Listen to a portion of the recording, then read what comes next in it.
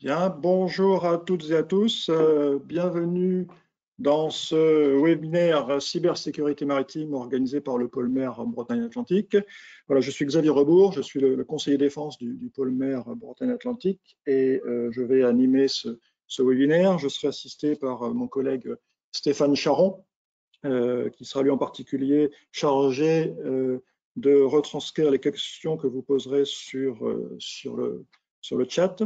Euh, donc la cybersécurité maritime, ben, c'est un sujet euh, qui nous intéresse particulièrement au mer en Bretagne-Atlantique, bien sûr, parce que dans tous nos projets, dans tous nos, domaines d'action stratégique qui couvrent l'ensemble de l'économie maritime, euh, sauf le tourisme, eh bien, il y a l'enjeu de la transition, transformation numérique. Et dans la transformation numérique, eh bien, il y a la cybersécurité.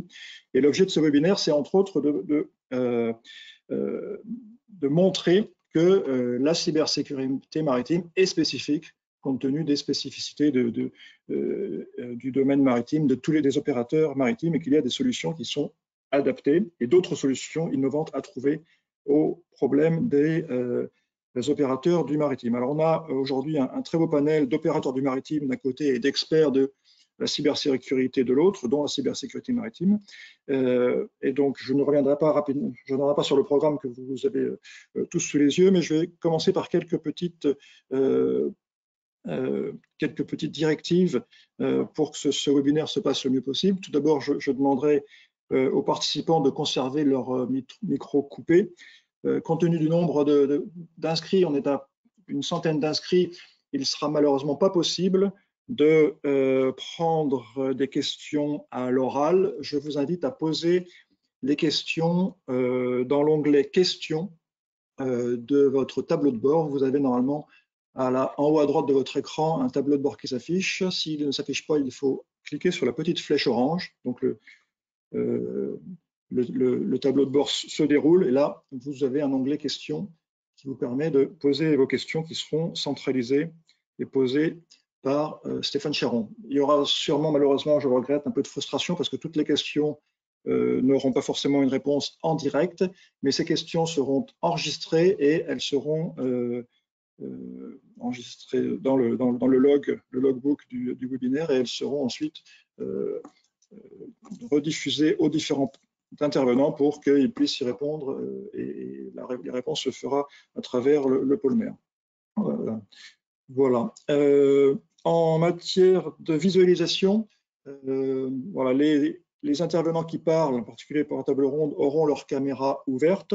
Euh, donc vous pouvez, euh, avec le mode visualisation, afficher l'ensemble des, gens qui, interviennent. vous avez dans votre écran de contrôle un petit onglet avec deux écrans superposés. Ça vous permet de passer du mode plein écran au mode fenêtre. Et dans le mode fenêtre, vous avez une barre des tâches supérieures qui vous permet de choisir le mode de visualisation et vous pouvez choisir euh, tous les, euh, tous les intervenants qui parlent euh, et vous aurez une, mosaïque des intervenants qui s'affichera. Donc voilà, voilà pour les, consignes pour, que ce webinaire se passe bien. Et je vais maintenant passer la parole à Monsieur le député Éric Botorel, député des Côtes d'Armor, euh, qui nous a fait l'honneur d'introduire ce, séminaire. Et euh, M. Botorel est très impliqué dans euh, toute la sécurité numérique. Et, je lui passe la parole. Merci, Monsieur le député. Merci beaucoup. L'honneur est pour moi en vrai, hein, parce que le panel est d'abord prestigieux. J'ai l'habitude de m'exprimer d'ailleurs sur la qualité de, des différentes composantes qui s'animent et qui mettent en œuvre suffisamment de moyens et, les moyens euh, qu'il faut pour euh, euh, lutter contre la cybercriminalité en général. Et le sujet qui nous réunit aujourd'hui est un sujet que j'ai particulièrement à cœur, sans mauvais jeu de mots, à cœur parce que je suis pimpolé et que je suis fils et petit-fils de, marins. Mon, grand-père a été chef mécanicien sur les câbliers, mon père a été capitaine de long cours en messagerie maritime, et j'ai la chance, je suis le vilain petit canard de la famille, puisque j'ai la chance d'avoir un de mes enfants qui est aujourd'hui officier de marine marchande et qui navigue à, la Dreyfus. Euh, j'avais de ces nouvelles ce matin. Il est euh, du côté de Singapour en train de réparer des câbles. Euh, donc vous, comprenez pourquoi ce sujet, à la fois par proximité géographique et en même temps par la charge de mon histoire, retient toute mon attention. Vous allez aborder euh, bien, des sujets qui font écho à, des initiatives qui ont été prises euh, au rang national euh, ou au rang, ou au rang européen, s'agissant de la cybersécurité. Il y a des singularités liées directement au fait que du caractère maritime d'un certain nombre d'opérations. Je ne peux pas engager la, discussion ce matin sans avoir une pensée ni pour les, acteurs de la Britannie Ferry qui traversent un, un sujet compliqué qui n'est pas lié à la cyber, mais qui rend qui fragilise une partie de notre, euh, notre armement. Le pavillon français euh, est prestigieux, euh, il est prestigieux par les hommes et les femmes qui le composent, et je ne peux pas ne pas aborder une journée qui va évoquer le maritime sans avoir une pensée pour eux, de la même manière que j'aurais une pensée pour tous les pêcheurs bretons, même si c'est moins le sujet d'aujourd'hui, qui ont engagé la, pêche à la coquille Saint-Jacques. Je ne veux pas engager de débat avec quelques présents normands sur euh, la préférence que j'ai pour la coquille Saint-Jacques euh, bretonne. Euh, pardon de ces digressions en introduction, mais, et, je vais aller sur les sujets que, dont vous m'avez invité que je puisse, puisse les commenter. C'est un, un, moment fort que de pouvoir évoquer l'émergence de France cyber maritime, la création d'un CERT en tant que tel, euh, dont je pense que les uns et les autres vous rappellerez à la fois euh, les modalités de, de, mise en œuvre, euh, et, de sa constitution. Euh, vous allez évoquer dans le courant de la journée à la fois les, besoins et les solutions, donc euh, je, ne vais pas de mon côté m'y appesantir, mais faire écho à un certain nombre de nos, travaux que nous avons actuellement en examen à l'Assemblée nationale ou dans le débat public. Il y a bien évidemment des, en, matière de cybersécurité des caractéristiques qui sont propres aux, aspects maritimes. Et il y a aussi, j'allais dire, des éléments qui sont transverses la, la, mutation euh, liée euh, à l'épidémie Covid faisant recours du télétravail euh, et, et, qui peut, parce qu'elle s'est faite euh, rapidement, est une vraie question, un vrai sujet, une vraie préoccupation, je sais, pour les acteurs du GIP de cybermalveillance ou pour ceux de, de l'ANSI, euh, que de savoir si tout ça s'est fait dans les règles de l'art et si on n'a pas ouvert ici quelques portes qui seront exploitées demain par un certain nombre de cybercriminels. Ça frappe l'ensemble de notre économie, les TPE-PME particulièrement, et euh, il n'est pas exclu que euh, les opérateurs maritimes, quels qu'ils soient, euh, puissent être eux aussi sujets à des vulnérabilités liées directement à une mutation dans un caractère d'urgence et, quasi obligatoire des modes de fonctionnement du, du travail. La 5G quel buzzword du moment, la 5G va avoir un impact extrêmement important sur bien des aspects de notre économie, l'industrie en particulier, mais je ne peux pas ignorer qu'elle aura, parce qu'elle est attendue, euh, un, une présence euh, assez majeure sur la partie supply chain. On pense immédiatement euh, au port et au transport euh, de marchandises. Il est bien évident là aussi que dans le cadre de son déploiement, que ce soit sur des réseaux privés de type PMR ou des réseaux publics, notre attention est tout à fait portée sur une technologie qui, accompagnant un mouvement qui s'est depuis longtemps engagé maintenant, devient massivement logiciel, de moins en moins matériel. Et on sait combien il est difficile sur des environnements vivants de pouvoir mettre en œuvre des dispositifs de résilience, de résistance et de défense euh, là où nous avions euh, des habitudes de travail qui nous permettaient, parce que sur du hardware, de dupliquer, de répliquer et surtout d'avoir des technologies de résistance et de, défense bien plus simples à mettre en œuvre. Et du coup, plus compliqué pour les potentiels attaquants. On a là une sphère et, euh, comment dire un écosystème d'infrastructures qui, qui évolue. Il faut faire avec parce qu'il apporte des bénéfices. La 5G, c'est la latence euh, réduite, euh, la bande passante augmentée, la vitesse là aussi considérablement augmentée. Elle ouvrira des portes à, une optimisation des, flux. Mais ce qui, vaut sur le terrestre en matière d'optimisation des réseaux vaudra incontestablement sur la partie euh, maritime, là aussi sur l'optimisation des flux et notamment de marchandises. Est-il utile de rappeler à ce stade que 90% des marchandises qui circulent dans le monde sont opérées d'un point de vue maritime? Donc vous le voyez, il y a une superposition de couches euh, de, de, de, menaces à laquelle il va falloir apporter des réponses. Euh, le fait de spécialiser et de dédier euh, à Brest euh, des éléments, euh, des éléments issus de, je le dis aussi assez régulièrement sur les plateaux télé, de, pour partie d'entre eux, de la, de la plus belle agence au monde en matière de lutte contre la cybercriminalité et constitutive aussi de nos éléments en œuvre pour la cyberdéfense c'est une nécessité aujourd'hui de voir le caractère maritime dans ses singularités et en même temps dans ses grandes largeurs de ce que sont les menaces qui existent dans d'autres dans d'autres secteurs. Donc, je ne veux pas être beaucoup plus long. C'était, je crois, le, souhait que vous aviez formulé de, ma présence ce matin et, je vous en remercie vivement et je vous redis que l'honneur est pour moi euh, et, euh, j'ai hâte d'entendre les intervenants de cette table ronde s'exprimer euh, sur les sujets que vous allez aborder et tout au long de la journée.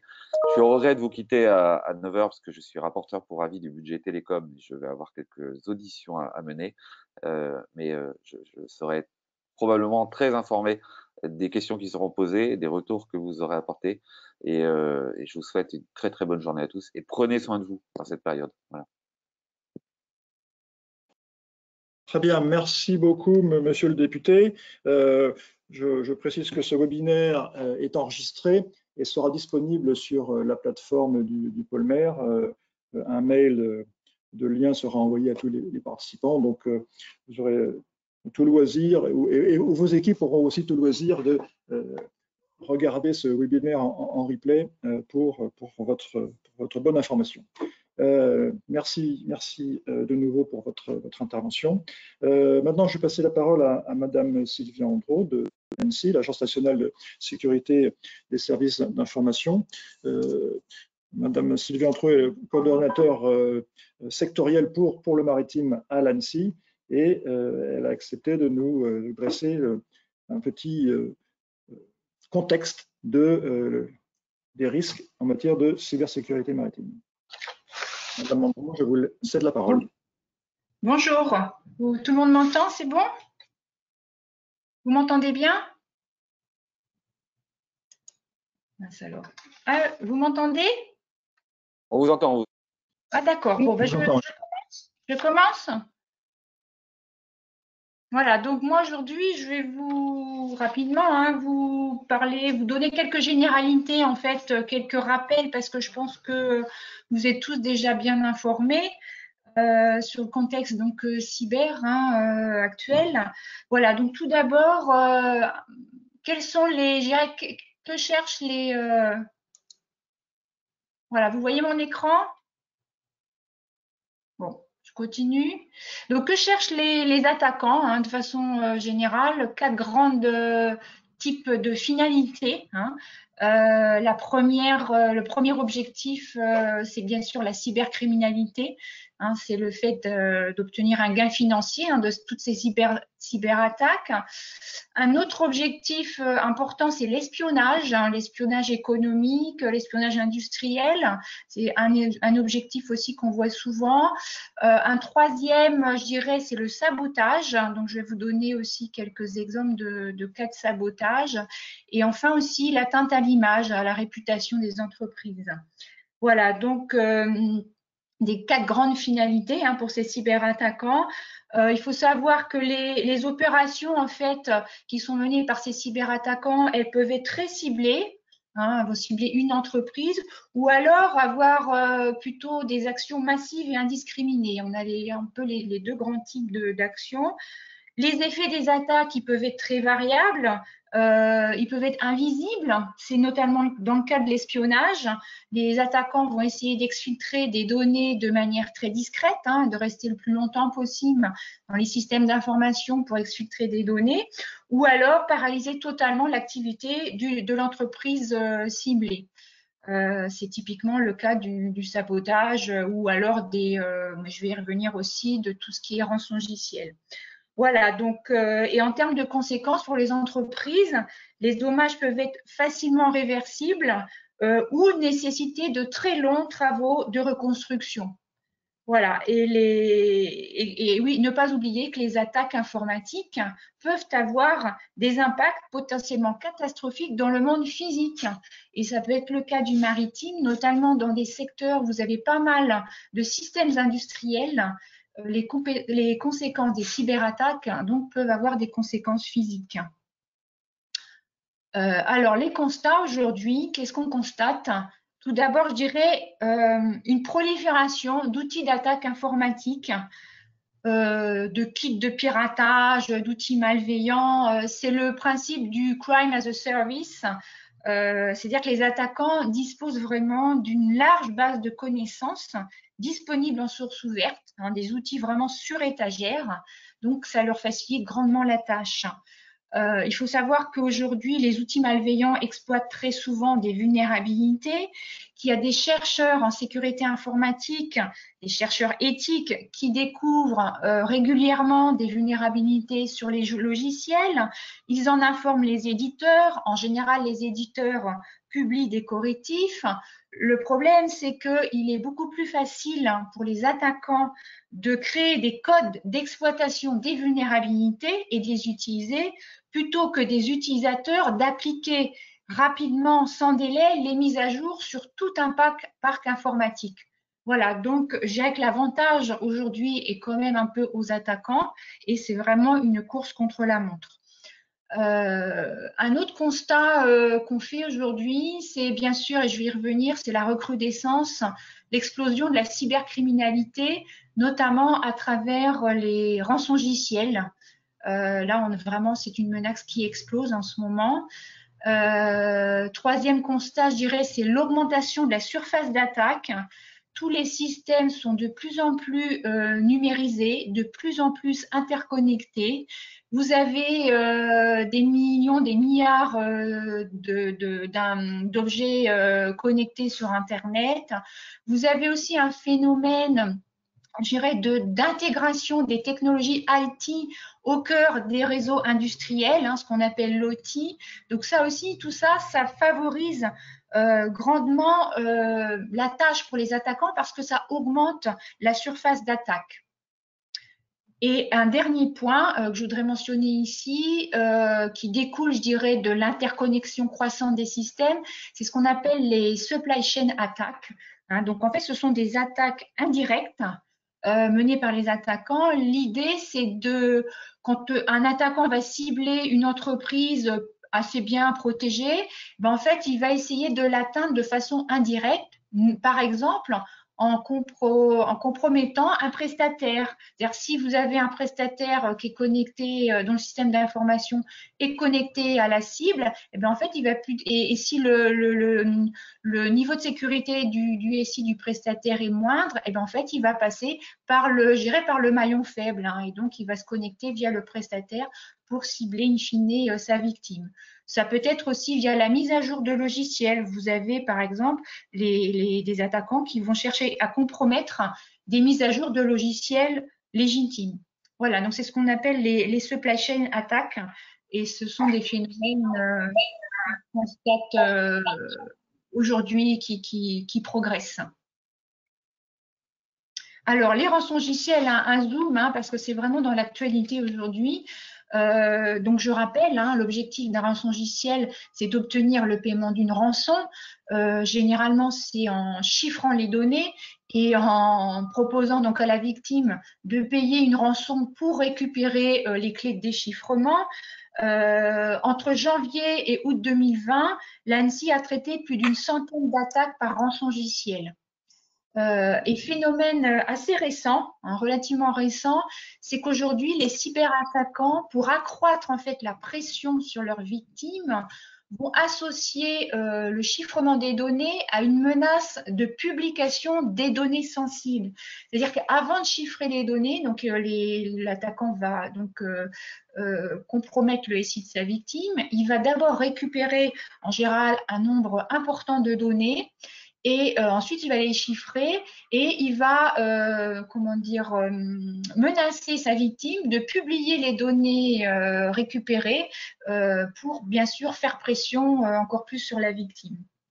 Voilà. Et donc pour les pour les victimes, c'est vraiment ça peut être vraiment des conséquences, je dirais dramatiques. Vous avez de multiples conséquences. Ça peut être euh, déjà la désorganisation interne, arrêt de la production, vos systèmes sont arrêtés, chute du chiffre d'affaires. Vous pouvez aussi avoir des risques juridiques, notamment en cas de compromission de données personnelles hein, par rapport au RGPD. Euh, vous avez un problème aussi euh, d'altération de la réputation de l'entreprise, altération de l'image, la perte de confiance des clients, voire tout simplement la perte de clients. Voilà, donc les conséquences sont vraiment multiples et euh, elles peuvent être même durables. alors que je dirais que pour les criminels, euh, qui généralement disposent euh, d'importantes ressources financières et d'importantes compétences techniques, il faut savoir que pour euh, les cybercriminels, le modèle économique est vraiment très, très rentable. Hein. ce sont des opérations très lucratives. Voilà. L'ANSI vient de publier en partenariat avec le ministère de la Justice un petit guide qui est, bien fait, qui, s'adresse, je dirais, euh, en priorité aux dirigeants d'entreprise. Hein. Donc, si vous avez besoin de, de, sensibiliser vos dirigeants, euh, vous pouvez les, les, diriger vers la lecture de ce petit guide. Euh, donc, je rappelle, qui a été fait en, en, partenariat avec le ministère de la Justice. Et vous y trouvez des témoignages, en fait, d'entreprises qui ont été victimes de ransomware, euh, notamment le groupe M6, le, CHU de Rouen et l'entreprise euh, Fleury-Michon. Voilà. Et euh, oui, un petit dernier point sur les rançongiciels, c'est que euh, l'ANSI euh, déconseille vivement de payer les rançons parce que d'une part, ça ne garantit absolument pas la victime de récupérer ses données et d'autre part, ça entretient en fait cette activité cybercriminelle.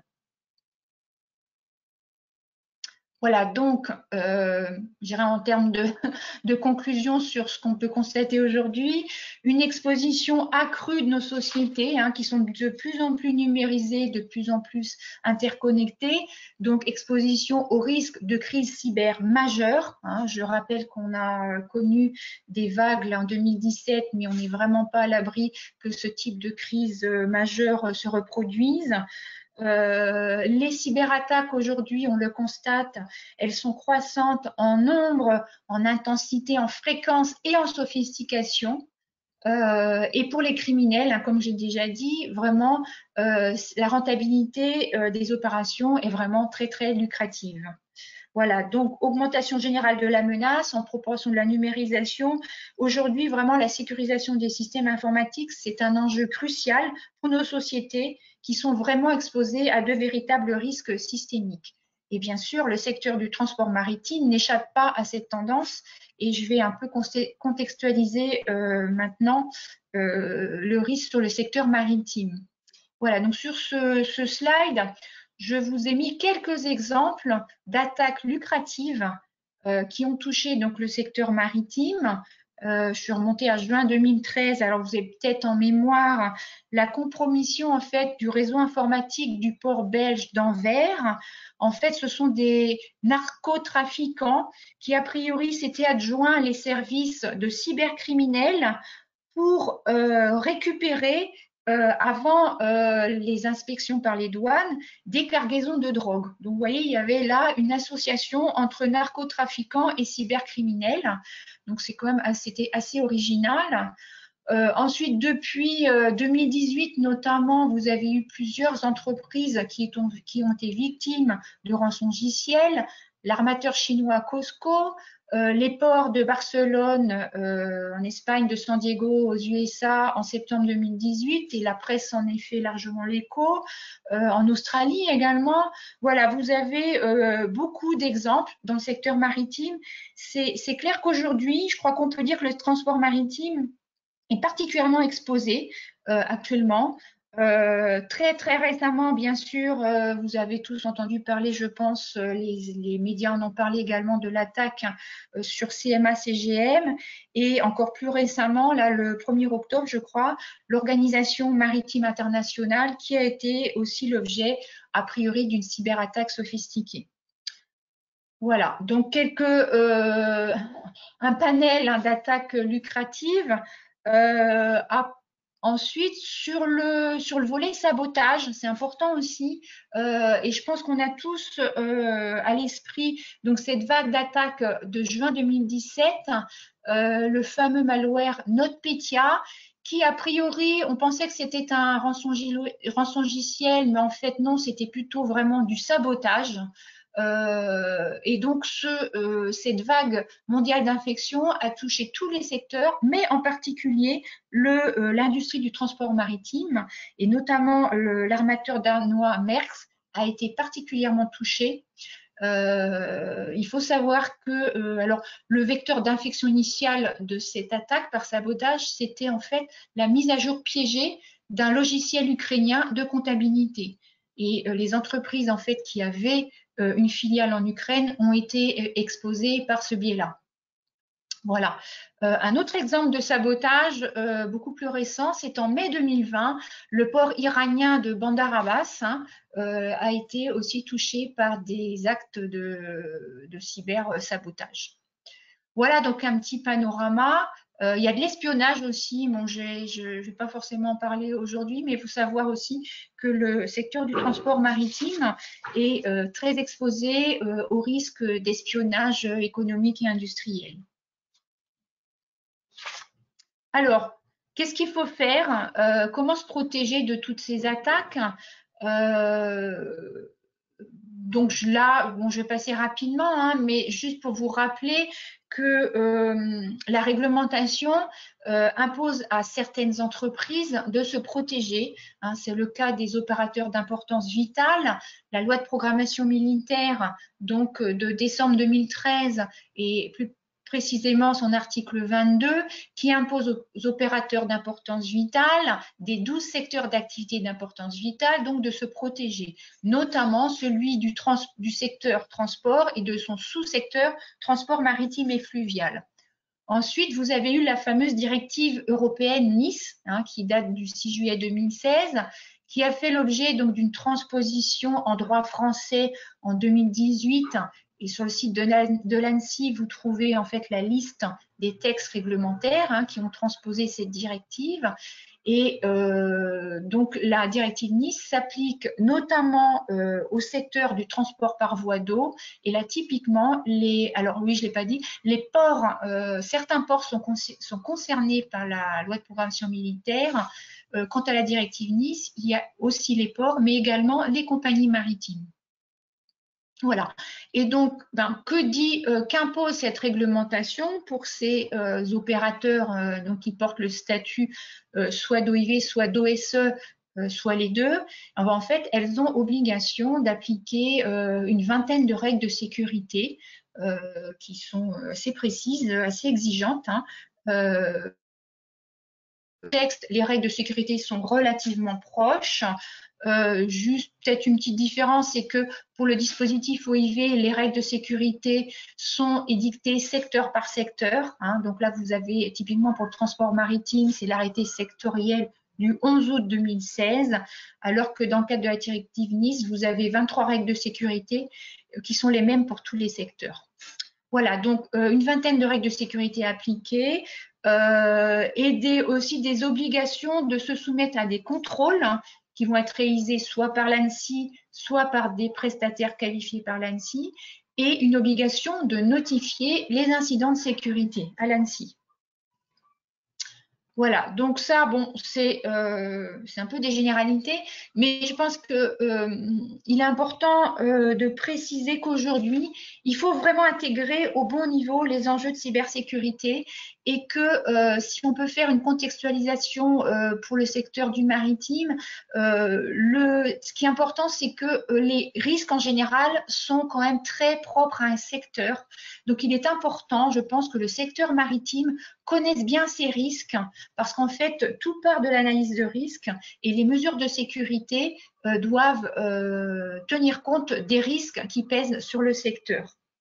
Un point aussi important, c'est que dans notre euh, ce contexte aujourd'hui de numérisation, hein, on a de nombreux projets de transformation numérique, il est vraiment essentiel d'intégrer dès les phases de réflexion, dès les phases de conception de ces projets de transformation numérique, les risques euh, cyber et les éléments donc de cybersécurité pour réduire ces risques. Et ça, ça peut être fait vraiment euh, au niveau du secteur.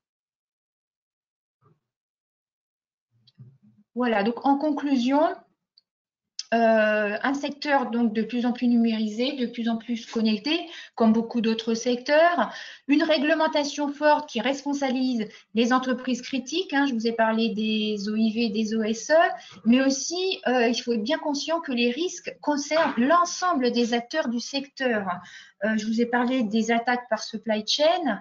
Il est clair que euh, si vous pouvez, vous avez beau euh, sécuriser de façon forte euh, le système d'information critique de telle entreprise, comme je l'ai expliqué, les attaquants vont essayer de rentrer par le, point faible. Hein. Donc, si à côté vous avez un, un, prestataire qui est peu ou pas sécurisé, les attaquants vont passer par ce, par ce biais-là. Voilà. Donc, il est vraiment important, en tout cas pour le secteur maritime, que, que l'on connaisse l'ensemble des risques euh, tous les risques qui affectent l'ensemble des acteurs du secteur.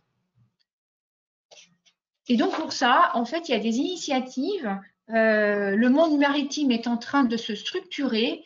Euh, je ne vais pas rentrer dans les détails, mais juste pour vous rappeler que tout récemment, fin novembre 2019, le, a été créé en fait le Conseil de cybersécurité du monde maritime, le C2M2, euh, dont un COMEX est réuni il y a peu de temps. Donc c'est une structure en fait de gouvernance nationale de la cybersécurité maritime et l'objectif c'est bien de, de, se coordonner, de se mettre autour de la table, de réunir les acteurs du public et du privé et de voir comment on peut répondre de façon, je dirais, coordonnée euh, à ces euh, risques cyber euh, qui affectent le secteur maritime.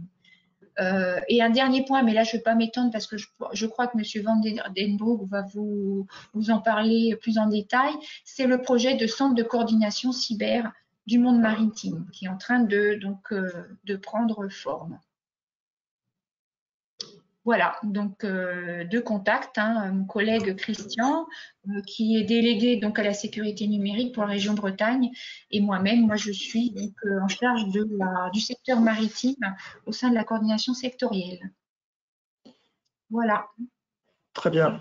Merci beaucoup, Madame Andro, pour ce panorama très complet et qui tout naturellement permet de faire la transition vers l'intervenant suivant, qui est Bruno Bader, qui est le coordonnateur cybersécurité pour le domaine maritime au SGMR, donc secrétariat général de la mer, qui va nous présenter un petit peu effectivement comment euh, le maritime euh, s'organise et comment euh, le SGMR aussi orchestre la fédération de l'ensemble des acteurs du monde maritime pour se prémunir de cette, menace. Je vais lui passer la parole et je vais aussi lui passer la main pour qu'il puisse passer sa présentation. Euh, Bruno, tu as la parole. Merci Xavier. Euh, ma présentation, est-ce que vous la voyez?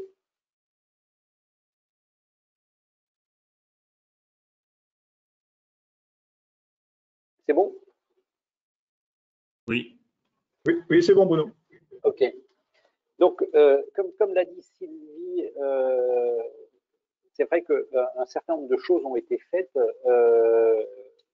On, vient, de, pas loin parce que c'est vrai que l'ensemble des mesures ont été décidées en 2018 au comité interministériel de la mer, avec la mesure 46 qui demandait effectivement à ce qu'on se structure au, sein du, monde maritime et qu'on mette en place un moyen d'action également. Donc, euh, c'est ce, que, ce que nous avons fait.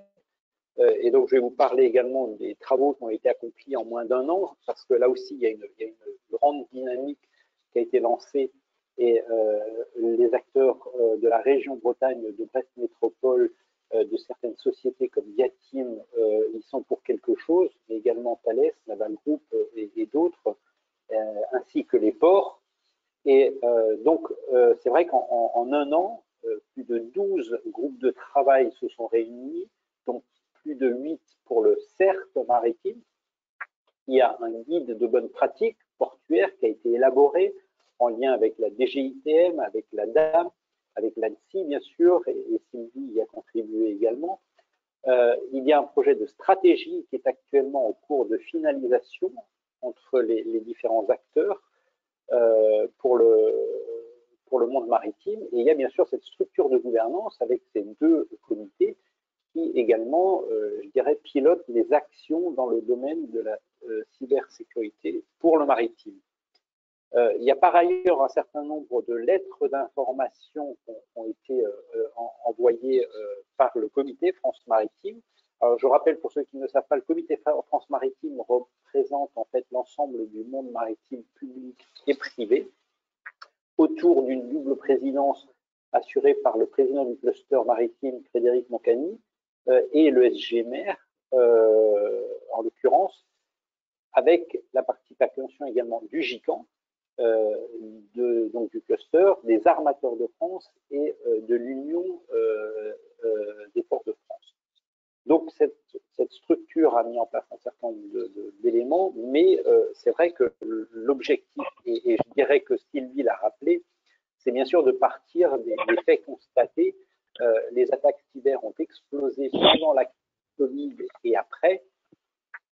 Euh, je, mets donc sur cette diapositive tout un tas d'actions qui ont été visibles, d'autres le sont moins, mais elles sont permanentes. Quand on voit par exemple que le GPS est brouillé au large du Liban, au large euh, de Chypre, euh, alors il y a des applications politiques, bien sûr, derrière, on ne rentrera pas là-dedans. Quand on voit qu'en permanence, l'AIS est, est stouffé en mer de Chine et dans certains ports, maintenant les, reports de spoofing sont euh, également euh, euh, reportés au large de la Californie. Et en décembre dernier, c'est en Méditerranée qu'on a observé donc, une attaque au large de l'île d'Elbe. On se rend compte que non seulement le, la cybersécurité, enfin la cyber peut euh, agir sur l'économie et, et, Sylvie ne l'a pas dit, mais certaines entreprises ont mis la clé sous le paillasson parce qu'elles ont été attaquées. Donc, ça, peut bien euh, tuer une activité, euh, mais ça peut également tuer des individus dans le cas où, effectivement, on irait sur, sur des, attaques sur les systèmes de navigation et, autres. Donc, effectivement, il y, a une, menace qui est omniprésente euh, là, je rappelle un peu les, différentes actions et c'est vrai qu'on a, on a, vu un certain nombre d'opérateurs euh, économiques se faire attaquer euh, et c'est vrai que chaque attaque a, son retour d'expérience et, a son, je dirais, son, apport de, de différentes leçons pour, euh, pour en particulier savoir euh, comment, comment euh, gérer cette crise, comment l'appréhender. Et c'est là aussi une des, thématiques qu'on a abordées dans les groupes de travail, comment aborder, comment traiter une crise, donc avec une, problématique autour du, CERT. Et donc voilà, on se rend compte que qu'effectivement, il y a un certain nombre d'actions, elles, augmentent. Alors là aussi, elles augmentent, comment on le sait ben, euh, des, opérateurs, bien sûr, les, observent, mais ça pose toute la problématique d'avoir également, je dirais, une capacité, les militaires connaissent ça bien, c'est la capacité de connaissance et d'anticipation. Euh, et, pour ça, ben, il faut avoir une, des outils pour connaître ce qui se passe et observer euh, ce qu'on voit. Ah, ça va vous, paraître trop, simple, mais simpliste, mais, il n'est pas évident dans le domaine numérique d'observer ce qui se passe. Ce sont des, sont des technologies assez, euh, assez poussées, technologies aussi assez chères et qui, nécessitent euh, de, gros investissements à, la base. Et, et, là aussi, euh, et Sylvie l'a rappelé, les, gens qui sont attaqués ou qui sont la cible de ces attaques n'ont pas forcément les moyens parce que quand un gros, euh, comme, un port ou, comme, euh, comme se fait attaquer, euh, il n'est pas toujours facile, entre guillemets, d'avoir une, une réponse adaptée ou un outil adapté qui permette de, de répondre. Donc, voilà sur, sur, le, sur les aspects, euh, je dirais, de, des travaux en cours. Euh, on a, évoqué la stratégie. La stratégie, on va en parler dans les, dans les prochaines semaines euh, autour d'une. Il n'y a pas de scoop, hein, mais elles seront évoquées en comité interministériel. Et, donc, la, stratégie rappelle effectivement un certain nombre de préceptes euh, un certain nombre de, domaines, que ce soit les domaines légaux, parce que la cybersécurité, c'est pas seulement de la technique, mais c'est également euh, du légal, de l'organisationnel, euh, de l'opérationnel. Et donc, c'est quelque chose qui est au service de la, des opérateurs. Et quand on dit des opérateurs, euh, c'est pas que les gros opérateurs, parce que c'est vrai que la, l'a également, la LPM et, la directive Nice euh, se focalisent sur les opérateurs d'importance vitale et les, opérateurs de services essentiels. Euh, il est important également de prendre sous le parapluie d'une future défense cyber les plus fragiles, donc les ETI, les PME, qui elles sont en lien avec les opérateurs, euh, les opérateurs portuaires pour les grands ports et, bien sûr les petits euh, ports qui, eux aussi, et, et, le rappelait à, juste, euh, très justement, les opérateurs, je dirais, étrangers, enfin étrangers, outre-mer, puisque là aussi on a un certain nombre de ports auxquels il faut qu'on pense. Donc c'est vrai que, et, on, en reparlera après, c'est ce centre de coordination qui, qui lui sera le bras armé euh, de, ce qui a été mis en place l'an dernier avec le Conseil cyber du monde maritime, le C2M2. Euh, le C2M2, grosso modo, c'est la tête. Le centre de coordination, lui, c'est le, le bras armé euh, de la volonté qui s'exprime bah, par justement le, le, rassemblement des opérateurs de sécurité, des opérateurs maritimes, des institutions et des services publics autour bah, de la définition de, projets, de, projets ambitieux hein, de, sécurité euh, au profit de l'ensemble du secteur pour éviter justement ce morcellement et cette, capacité, je dirais, euh, de, répondre tout seul euh, parce que derrière, on a besoin de cette connaissance et de cette anticipation et on a besoin de ne pas y aller tout seul. Alors, je vais faire un focus très rapidement sur euh, euh, un questionnaire qui a été adressé à l'ensemble du secteur euh, maritime cet été. donc, 171 organismes ont répondu sur bah, des questions qu'on avait déjà posées en 2018. Et, on se rend compte qu'effectivement, il y a quand même une prise, en, enfin, une prise de conscience factuelle du, niveau de menace le niveau d'exposition est, quand même jugé euh, assez, assez fort pour, euh, pour, le, pour, les opérateurs du secteur. beaucoup rapportent avoir fait l'objet d'une attaque cyber parce qu'ils commencent à, les observer. Un, certain nombre rappellent également que, bah oui, on, est quand même beaucoup dépendant de technologies étrangères et ça aussi, les, gens l'avait appréhendé dans le premier questionnaire et il, le confirme lors du, second euh, de cet été. Et donc, euh, si certains ont pris en, main leur destin en mettant en place des, moyens, euh, il en reste encore beaucoup, donc plus de 25% qui, eux, n'ont pas en partie répondu à la thématique et donc, euh, il y a effectivement un besoin pour s'organiser. Et donc, euh, s'organiser comment? Ben, C'est s'organiser pour euh, le, une mutualisation, bien sûr, des, services à haute valeur ajoutée que j'évoquais précédemment. Et bien sûr, la déclinaison de solutions de sécurité pour le plus grand nombre, parce que, et là aussi les opérateurs du maritime le voient bien, il faut effectivement mettre en place des outils pour tous, mais il faut également que ça, reste abordable. Bon, vous direz, ça c'est, ça c'est une thématique euh, euh, récurrente, mais c'est vrai que c'est quelque chose qui importe également parce que si, aujourd'hui, la crise Covid le rappelle, les activités peuvent être mises en, en, faillite très, très facilement par une déstabilisation de l'écosystème. Euh, l'écosystème numérique en fait bien sûr grandement partie, euh, mais c'est moins visible que, grosso modo, une crise comme la crise Covid ou alors euh, des, pluies torrentielles. Donc c'est vrai que oui, il y a une question de, coût et puis il y a une question de, besoin adapté aux besoins. Et c'est là aussi où la spécificité d'une offre pour le, domaine maritime est important parce qu'elle répond effectivement à un besoin spécifique euh, et pas que technique, une fois de plus, hein, c'est un besoin en termes de technologie, en termes de, normes, de certification, et, ça aussi c'est important parce que le secteur maritime les, opérateurs et les, armateurs ont tendance de dire que, toute norme ou toute, toute, loi pour eux est une, problématique parce qu'ils sont dans un milieu concurrentiel où ils s'affrontent avec des, pays sans loi ni sans foi, en particulier sur des, sur des pavillons de composants.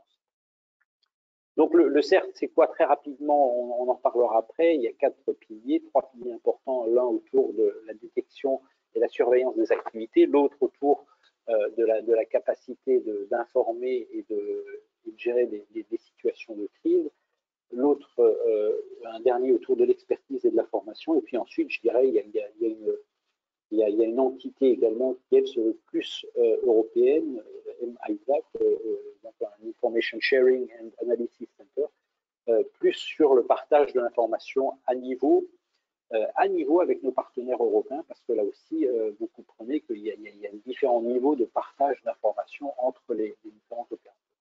Et donc tout ça, bah, ça s'inscrit dans cette, fusée à deux étages avec le Conseil du cyber du monde maritime, la structure de gouvernance et le centre de coordination. Donc les, grands, les, grands, principes de ce centre de coordination, mais on, les verra plus tard, c'est bien sûr euh, ben, de répondre aux besoins. Et, le besoin aujourd'hui, tel qu'on le voit, c'est le, le, besoin de répondre à un secteur qui, qui, euh, qui, est tenté de faire une impasse sur la cyber parce qu'il se dit, bah, là avec la crise Covid, je, je, me fais quand même pas mal euh, bouffer et je réduis pas mal mon activité bon, bah, si, si, je peux un peu tailler dans les croupières, bon, bah, on va, on va peut-être tailler dans, dans, la cyber. Pourquoi? Parce que c'est moins visible une fois de plus. Deuxième risque, c'est le risque euh, aujourd'hui qu'on observe par, le, par, les, par, les, sociétés d'assurance qu'aujourd'hui, euh, bah, les sociétés d'assurance euh, disent, bah, écoutez, euh, moi, euh, pour le risque cyber, moi, je vous propose euh, la clause X, etc.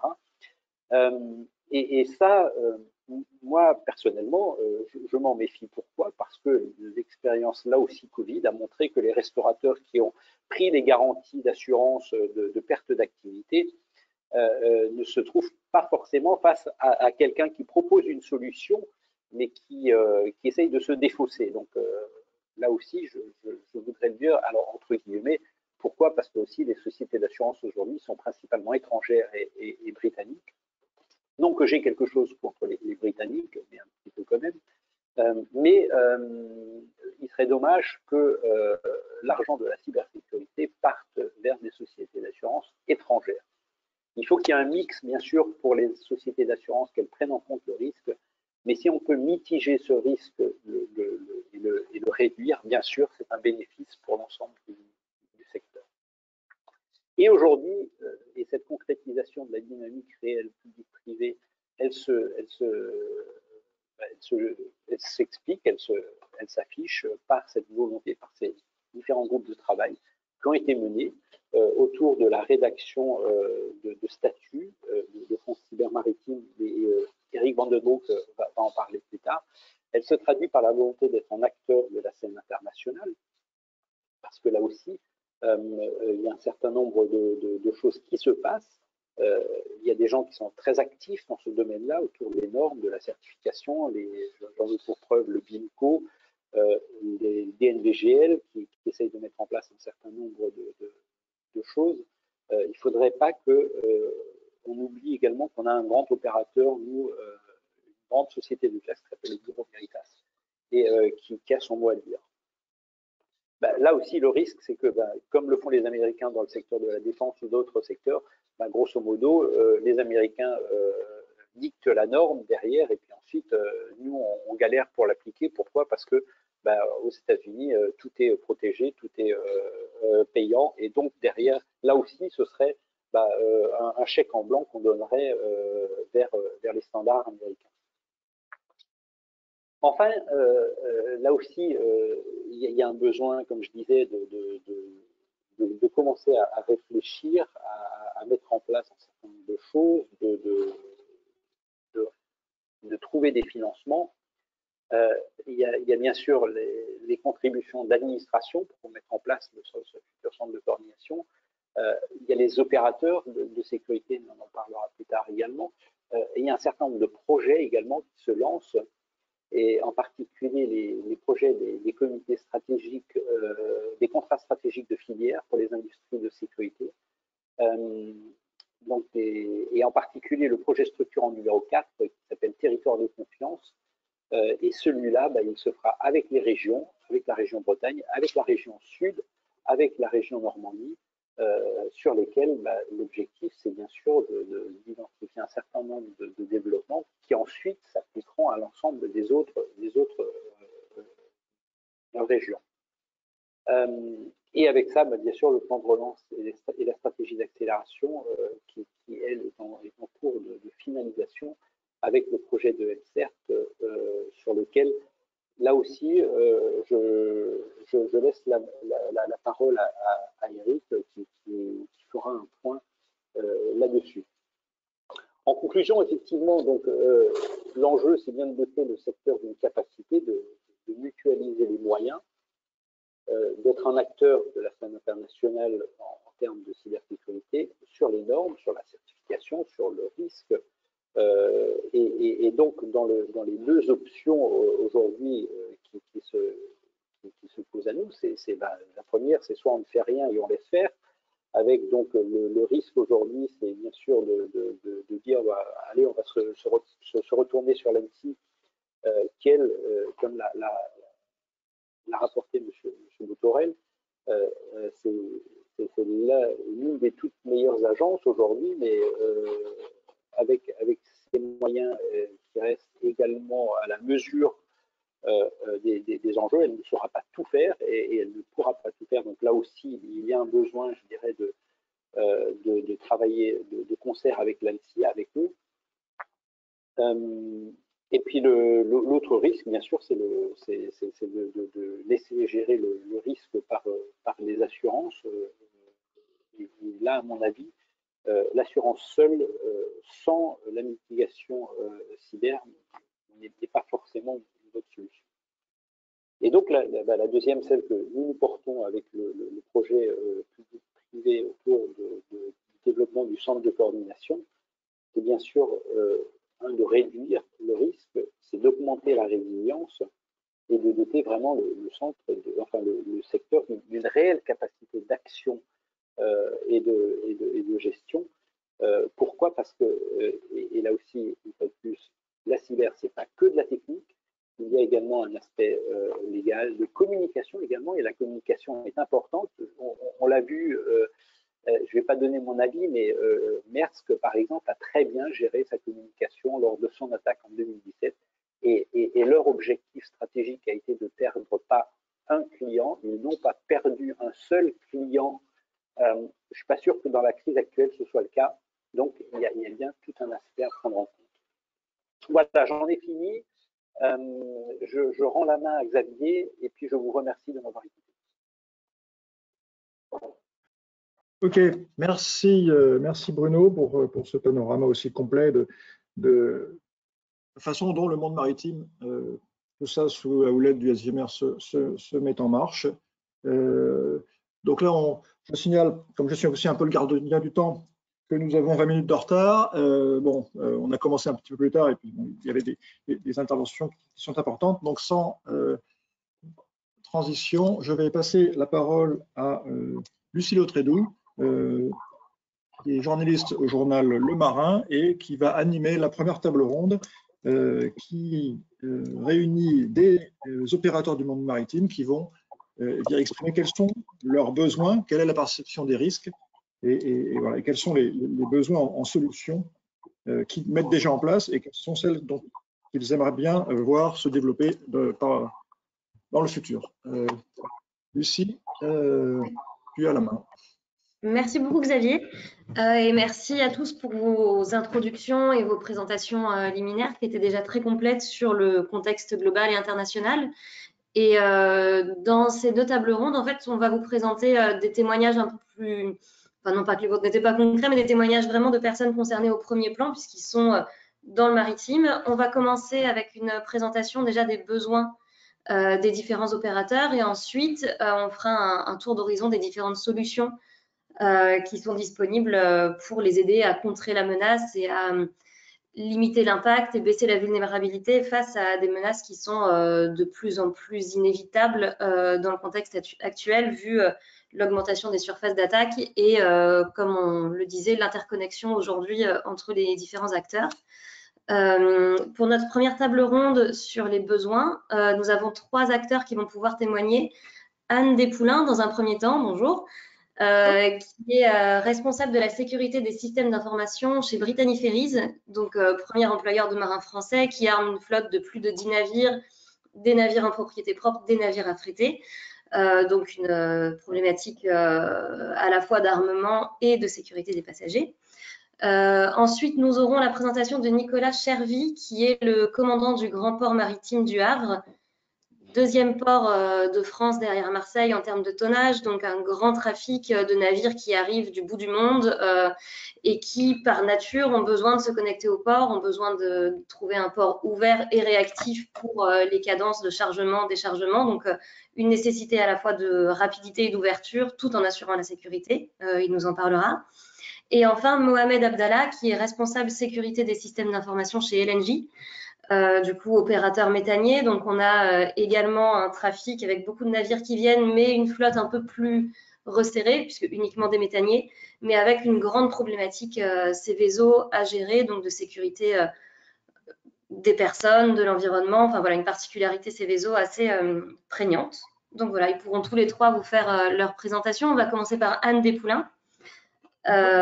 pour Brittany Ferries, on vous entend, je crois avec, euh, au-delà des tristes actualités Brexit et Covid, euh, une actualité un peu plus positive avec l'arrivée bientôt dans la flotte euh, du navire Galicia, qui est un navire classé cyber, donc hyper connecté, qui va augmenter votre surface d'attaque. Est-ce que vous pouvez nous expliquer un peu ce que ça va changer dans l'organisation de Brittany Ferries? Alors, bonjour à tous, merci de, de m'accueillir à cette table ronde. Euh, le navire, alors Galicia qui arrive d'ici la fin de l'année, qui sera mis en exploitation. Alors, il n'est pas encore classé cyber. Nous avons lancé la démarche cyber justement, euh, car l'entreprise s'est engagée dans une transformation digitale depuis quelques années. Euh, on a fait le choix d'armer le Galicia avec de nouvelles technologies, aussi bien IT que OT, d'offrir des services digitaux à nos passagers et à nos membres d'équipage, et également permettre d'avoir une, amélioration du suivi pilotage temps réel certains systèmes outils à bord. Donc, on parle aussi bien la consommation de fuel, la route, etc. Euh, bien sûr, tout ceci euh, oblige, nous oblige, nous a obligé à interconnecter davantage le navire euh, à l'Internet, donc sur, des, sur les data centers de certains fournisseurs. voilà, donc effectivement, on a voulu une conception du navire orienté cyber avec la des différents risques cyber du secteur maritime aujourd'hui liés à un navire. Euh, et aussi dans un cadre de conformité. C'est pour ça qu'on va le faire classifier cyber par, euh, par un organisme de classification qui est bien connu, qui est le BV. Et euh, pour valider que nos architectures, les solutions à la fois IT-OT répondent bien aux différents critères de la résolution MSC 428, euh, qui est euh, simplement l'intégration du volet cyber dans l'ISM. L'ISM qui est le standard de la compagnie en termes de sécurité et de sûreté. Et donc, euh, nous, voulons souhaiter intégrer en fait complètement ce, volet-là. Et Galicia sera notre navire pilote pour élaborer le framework en fait de la classification des navires et de l'intégration du volet cyber dans notre ISM. Voilà. Euh, ah, je ne vous entends pas, Madame Lotrédu. Oui, pour pas avoir d'écho, j'avais coupé. Euh, du coup, vous parliez aussi de connexion Internet pour les membres d'équipage, pour les passagers. Vous avez une grande euh, problématique sur l'humain, puisqu'on parle souvent du fait que c'est le maillon faible où la vulnérabilité la plus importante. vous, vous avez cette nécessité, du coup, de sécuriser aussi le volet humain avec toutes ces connexions?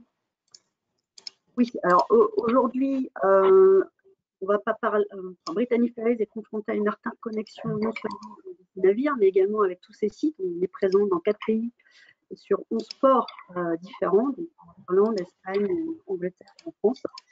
nous devons à la fois protéger nos clients, ne serait-ce que pour garder la confiance qu'ils ont en Brittany Ferries, protéger également l'image de l'entreprise. Il faut savoir qu'aujourd'hui, il y a une recrudescence des attaques cyber. Hein, on peut le constater tous les jours avec les équipes internes. Euh, des tentatives de phishing notamment, d'usurpation d'identité, d'arnaque au président, ce genre de choses, et des ransomware aussi qui sont de plus en plus prépondérants. Euh, on était relativement épargné jusque-là, euh, c'est-à-dire que les, solutions mises en place nous ont permis d'avoir des détections en amont euh, suffisantes et aussi la formation sensibilisation de nos personnels depuis 3-4 ans. effectivement, c'est l'émergence de la RGPD qui a permis de, faire, d'être un faire-valoir en la cybersécurité dans, l'entreprise. Et avec la directive NIS et le, volet cyber dans l'ISM, effectivement, on voit bien que ces sujets-là sont de plus en plus importants, pris en compte dans l'entreprise. On a mis une organisation en place justement pour permettre de, répondre aux besoins de sécurité à la fois de nos, clients et de, nos passagers, mais aussi de nos salariés, que ce soit euh, sur les escales ou sur nos sites, euh, bureaux, etc. Euh, effectivement, il peut y avoir des, des impacts énormes pour l'entreprise, euh, dommageables pour l'entreprise. Hein, on parle d'impact. Euh, Sylvie l'a suffisamment bien détaillé tout à l'heure. Des impacts liés aussi à perte de confiance. C'est vrai que la période actuelle nous est pas très favorable et c'est très important pour nous, avec de nouveaux navires, de, nouveaux services, de pouvoir avoir de nouveaux clients aussi à bord et de prouver via cette classification navire que nous allons étendre sur l'ensemble de, notre flotte et aussi sur nos sites, euh, de, pouvoir euh, justement prouver que nous sommes un opérateur de confiance. Et, l'autre volet très important et très important lié à ces différents risques et qu'on oublie assez souvent, mais monsieur Van on a, on a parlé tout à l'heure, c'est effectivement la partie, euh, l'impact sur la conformité, les réglementations, euh, si on ne suit pas, si on est défaillant, effectivement, il peut y avoir des sanctions. Et au travers de ça, c'est effectivement l'aspect assurance qui peut être euh, dommageable aussi pour la compagnie. Il faut savoir qu'aujourd'hui, euh, chaque, chaque, année, nous avons un audit sécurité cyber pour pouvoir renouveler nos contrats d'assurance. c'est des aspects à prendre en compte et qui sont assez impactants financièrement également pour l'entreprise. Au-delà de cet audit d'assurance, vous avez aussi des, exercices qui sont indispensables pour prévoir la menace, que ce soit euh, pour vous, donc la perte d'image, éventuellement aussi la diffusion des données de vos passagers si jamais euh, tous vos systèmes d'information étaient récupérés, et même pour euh, la sécurité de la navigation. Vous avez la nécessité de vous entraîner, de mettre en place des exercices pour préparer vos équipages et éviter les principales attaques desquelles vous pourriez être victime. Oui, alors, euh, nous avons lancé une démarche depuis 4-5 euh, ans maintenant avec euh, justement l'ANSI et la Marine nationale. alors, c'est la Marine nationale qui nous a contactés pour, dans le cadre de, la directive NIS, justement, pour mettre en place aussi le MICA Center, qui est le Maritime Information Cooperation and Awareness Center, qui réalise l'analyse, l'évaluation des situations de sécurité, notamment concernant les navires. Ils ont souhaité associer donc Brittany Ferries en tant qu'opérateur euh, pavillon français. Euh, à partir de, donc on a mis en place un certain nombre d'exercices à bord de nos navires, notamment euh, la, gestion d'un ransomware qui arrive à bord avec demande justement de rançon et menace d'ouverture des portes du garage en mer si jamais on ne paye pas dans les 30 minutes. Donc bien sûr, euh, cet exercice était complètement euh, anonyme. Seul le commandant du navire était au courant et ça nous a permis de mettre en place et de valider une remontée de, chaîne d'alerte et de crise euh, au sein de l'entreprise que nous allons intégrer dans le cadre du volet cyber dans l'ISM justement. J'évalue aussi le niveau de sécurité, de sensibilité à la sécurité de, nos navigants. Juste, euh, on a fait une grande campagne de sensibilisation jusqu'à l'année dernière. Malheureusement, cette année, crise Covid oblige, on est un petit peu en, stand-by.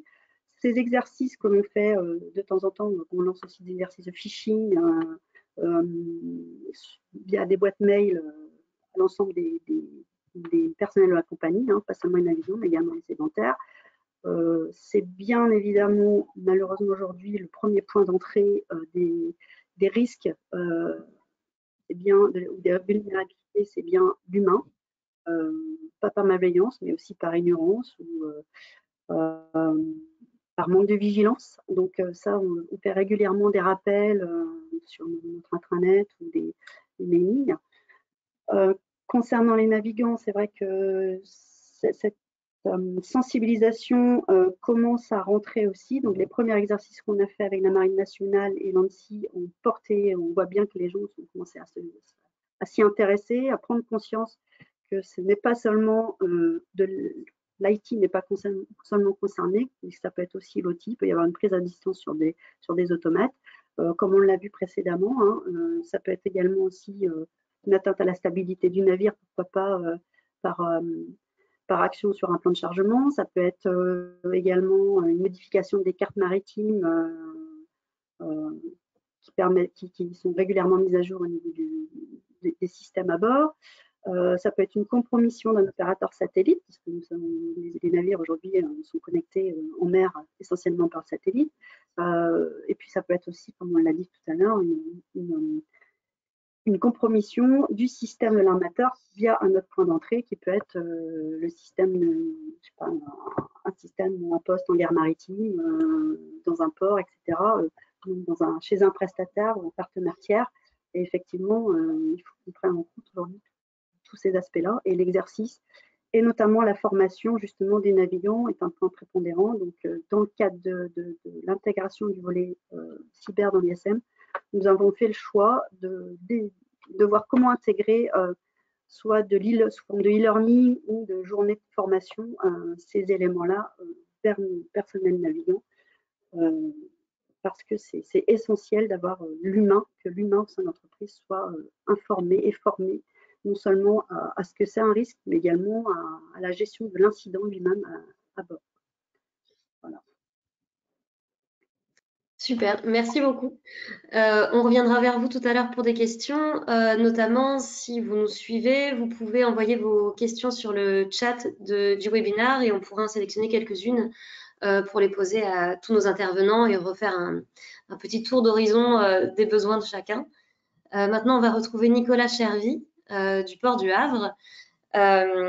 qui du coup, lui, a une grande problématique justement d'interconnexion, puisque vous accueillez euh, des navires qui ont des cadences qui sont en général assez exigeantes. Donc, à la fois, vous ne pouvez pas vous permettre d'avoir des opérateurs qui ont des grues en panne et une accumulation de navires qui attendent.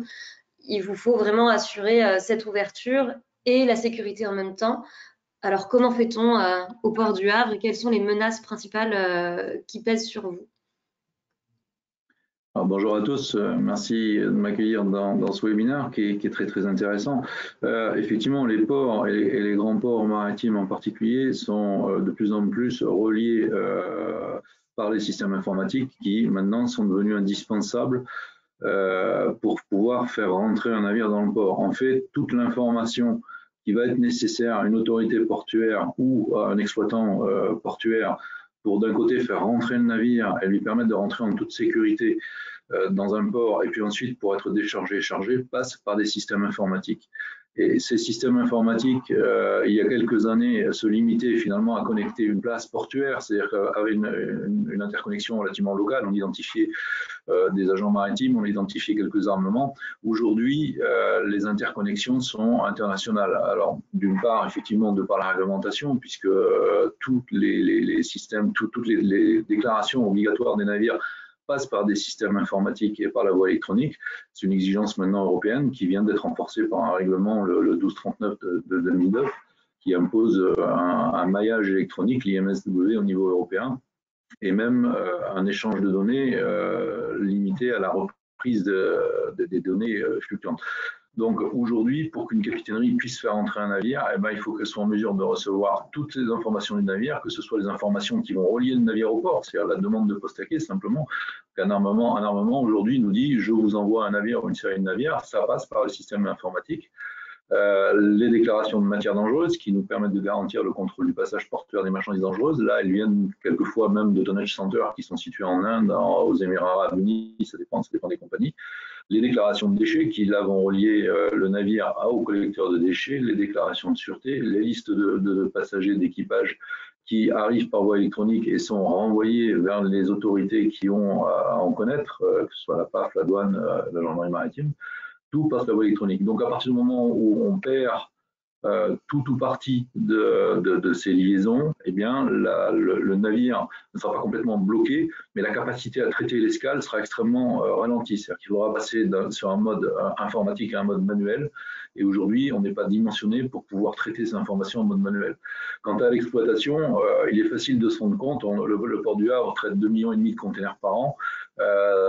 il y a quatre terminaux qui sont opérationnels 24 heures sur 24, avec un potentiel de containers à récupérer sur parc, à faire rentrer dans les terminaux, à charger sur les navires, à replacer sur les terminaux.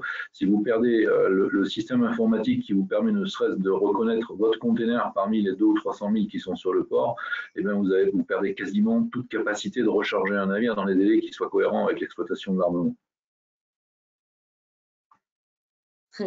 Et au-delà de ces conséquences euh, visibles, si on a une grande attaque avec comme ça un blocage euh, des navires dans le port, ou alors toutes les attaques de, piraterie dont on entend parler comme CMACGM il y a peu, on a aussi des attaques qui sont à plus petite échelle, euh, des trafics sur la longue durée qui ne se voient pas, comme par exemple des changements d'informations sur un conteneur pour éviter la douane, du trafic de matières illégales, euh, et tout ça, c'est beaucoup plus difficile euh, à connaître et à identifier. Comment est-ce que vous faites pour euh, mettre peut-être le doigt sur ce genre de trafic qui pourrait avoir lieu dans votre port et identifier ces signaux faibles qui sont beaucoup moins visibles, mais tout aussi nuisibles, si on peut le dire ça, a été évoqué effectivement tout à l'heure par l'ANSI. Le port d'Anvers s'est fait, fait hacker son, système pour pouvoir effectivement détourner, enfin changer l'origine d'un conteneur de telle manière à le détourner des, du ciblage de la douane.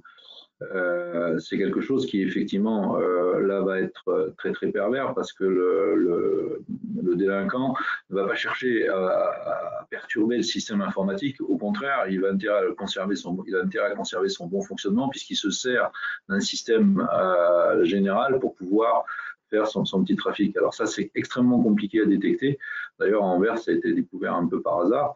là, c'est effectivement, il faut, être, euh, il faut être attentif à tous les signaux qui peuvent, qui peuvent nous montrer qu'il y a une intrusion et qu'il y a euh, un détournement en fait des, systèmes au profit de, quelqu'un qui est malhonnête.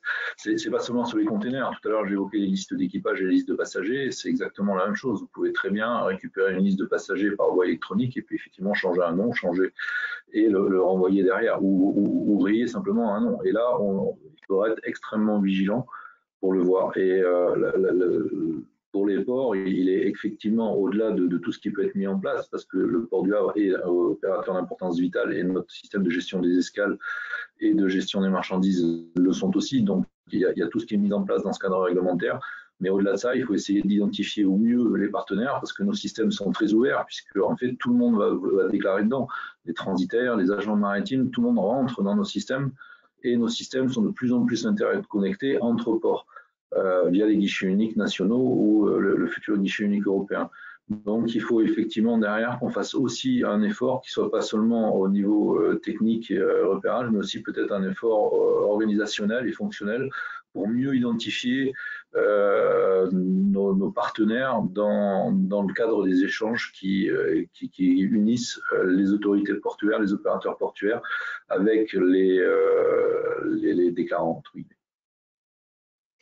et du coup, au-delà de ces solutions opérationnelles, organisationnelles dont vous parliez, euh, est-ce que vous avez des besoins particuliers en termes de nouvelles technologies d'intelligence artificielle, des besoins en termes de législation on a une table ronde juste après avec des personnes qui proposent des solutions. Si vous pouvez vous adresser à eux, quels sont les besoins que vous avez et les réponses que vous attendez, en fait, les, les outils qu'il vous faudrait en plus? Alors aujourd'hui, on a, on a une réponse hein, auprès de l'ANSI, auprès de l'État. Euh, on est au IV et euh, BAI parlait des, exercices. On a fait un grand exercice cyber qui nous a permis effectivement à la fois de tester notre capacité à protéger nos systèmes, mais notre capacité à communiquer et à détecter et à réparer ensuite. Euh, c'est pas simple, c'est extrêmement compliqué à mettre en œuvre, c'est très chronophage, mais c'est également très intéressant. Aujourd'hui, on est encore un peu dans une phase de, euh, débrief euh, de cette expérience et, de mise en place en fait de, ce qui est exigé par la réglementation. il, est compliqué effectivement de dire on aurait besoin de ça, ça et ça. En plus, ça sort un peu de mon domaine de compétences. Ce serait plutôt les informaticiens et notre correspondant sur, sûreté informatique cyber de, redéfinir ça. Mais euh, il, est clair qu'on ne doit pas rester figé. On ne va pas se contenter de répondre à une simple, une simple réglementation, fût-elle très complète. Il faut effectivement euh, faire des exercices, regarder là où on est perfectible et ensuite une proposition. Mais euh, ce que je retiens des, présentations qui ont été faites précédemment, c'est qu'effectivement, les structures ont été mises en place pour que d'une part, on puisse faire remonter l'information et qu'on soit écouté. Et ça, c'est et que derrière, des solutions soient apportées. Et ça, ça me semble effectivement fondamental. Et comme euh, ça a été dit un peu plus tôt, c'est une course contre la montre entre des pirates de plus en plus performants et des réponses de plus en plus euh, solides également euh, en face. On va passer du coup à l'intervention de Mohamed Abdallah, qui travaille pour LNJ. Et du coup, bah, dans votre domaine, on est vraiment sur les conséquences environnementales pourraient être évidemment dramatiques dans la mesure où vous travaillez sur des zones Céveso. Donc, vous êtes à la fois dans le maritime, l'interconnexion terrestre et cette problématique Céveso. Est-ce que vous pouvez du coup nous expliquer euh, bah, quelles sont les menaces principales que vous avez identifiées dans votre secteur? Bonjour à tous, ben, merci euh, de m'avoir invité, de m'accorder un petit temps de parole euh, pour de, ce colloque que je trouve très intéressant. et donc, effectivement, donc, euh, moi, je suis responsable euh, sécurité des systèmes d'information euh, d'LNG, donc, qui est l'opérateur des terminaux, enfin, un opérateur de terminaux méthaniers en France. et donc, outre, on va dire, les menaces ou les, ou les, les dangers, je veux dire, classiques qu'on peut retrouver sur l'ensemble des opérateurs, qu'ils soient euh, qu'ils soient euh, industriels ou, même tertiaires ou d'autres secteurs d'activité. Hein. Donc, euh, tous les domaines de l'IT sont aujourd'hui visés. On, l'a dit tout à l'heure, la recrudescence des attaques est extrêmement importante. Euh, dirais en outre, hein, la petite particularité ou le point de vigilance de notre côté, ce serait, c'est bien entendu d'éviter la prise en main de ce qu'on appelle l'OT, donc Operational Technology, ce qui permet, je le contrôle de nos installations industrielles, le contrôle de, nos processus et procédés de, production pour euh, soit les perturber et provoquer de la discontinuité, euh, une interruption du service, euh, en agissant sur des paramètres procédés tels que la température ou, la pression, puisque nos installations sont à très basse température et à très haute pression, euh, ou, bien même, euh, enfin voilà, le pire qu'on puisse redouter, c'est effectivement un, incident ou un accident qui ait un impact sur l'humain ou, sur l'environnement, en dehors de tous les autres euh, domaines d'impact qui, peuvent être envisagés sur l'image et financier, mais bien entendu, c'est avant tout l'humain et l'environnement qui sont, je dirais, qui, qui priment. donc, si je puis dire, nous, enfin voilà, c'est ça, c'est ça le risque. les dirais les principaux vecteurs euh, d'attaque qu'on a identifiés aujourd'hui, hein, c'est comme pour, euh, il n'y a rien, d'original chez nous, c'est euh, effectivement, comme ça a été cité, le, phishing. Et donc, on s'aperçoit que le, comportement, humain vis-à-vis de, l'outil informatique est, un, sujet à regarder de, près. D'ailleurs, on, a des, des, programmes annuels de sensibilisation à la sécurité des systèmes d'information. Euh, d'ailleurs, je tiens à mentionner que NJ, donc le groupe NJ euh, auquel appartient LNJ, participe cette année au mois de la sensibilisation à la sécurité ou à la cybersécurité. donc, c'est un événement international annuel et donc on a un programme mensuel pour aborder tout un tas de thématiques avec différents outils auprès de nos employés. Voilà. Euh, et donc, euh, c'est voilà, avant tout, euh, nous, on, souhaite, on souhaite garantir l'intégrité de nos installations pour pouvoir éviter que quelqu'un de mal intentionné prenne la main dessus. Et avec cette interface terre-mer, quand bien même vous seriez très bien préparé pour une attaque cyber, vous ne maîtrisez pas ce qui se passe sur les navires qui appartiennent à d'autres armateurs et qui viennent se connecter chez vous. Euh, comment vous faites pour maintenir les barrières et l'hygiène numérique en quelque sorte entre euh, ce qui arrive de la mer et ce qui arrive chez vous?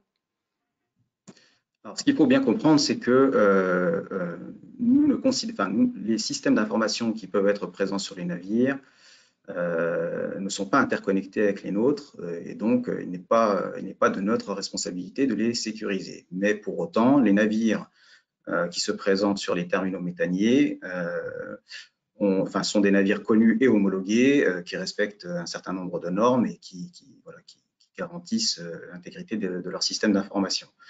Euh, les communications terre-mer se font essentiellement par voie, aérienne, par voie hertzienne, euh, au travers de, voilà, soit c'est la communication radio ou la communication téléphonique euh, euh, qui intervient au cours des opérations. Au préalable et après, bien entendu, il y a d'autres échanges qui peuvent se faire au travers de l'IT, hein, bien entendu, les échanges d'informations qui se font au travers de l'IT, mais, mais pendant les opérations, c'est exclusivement par voie hertzienne. Et du coup, pour assurer, vous parliez de navires euh, homologués euh, qui viennent euh, se connecter chez vous. tout ça, c'est mis en place dès la conception des navires. Il y a aussi la question du MCS, le maintien en conditions de sécurité. Comment est-ce que vous gérez toutes ces updates, pour utiliser un nouvel anglicisme, mais toutes ces mises à jour Et comment est-ce que vous faites pour assurer voilà, la sécurisation dans le temps entre vous et les opérateurs? Alors, euh, encore une fois, hein, notre, euh, moi, mon, domaine d'action et ma responsabilité portent sur les systèmes d'information euh, d'LNG.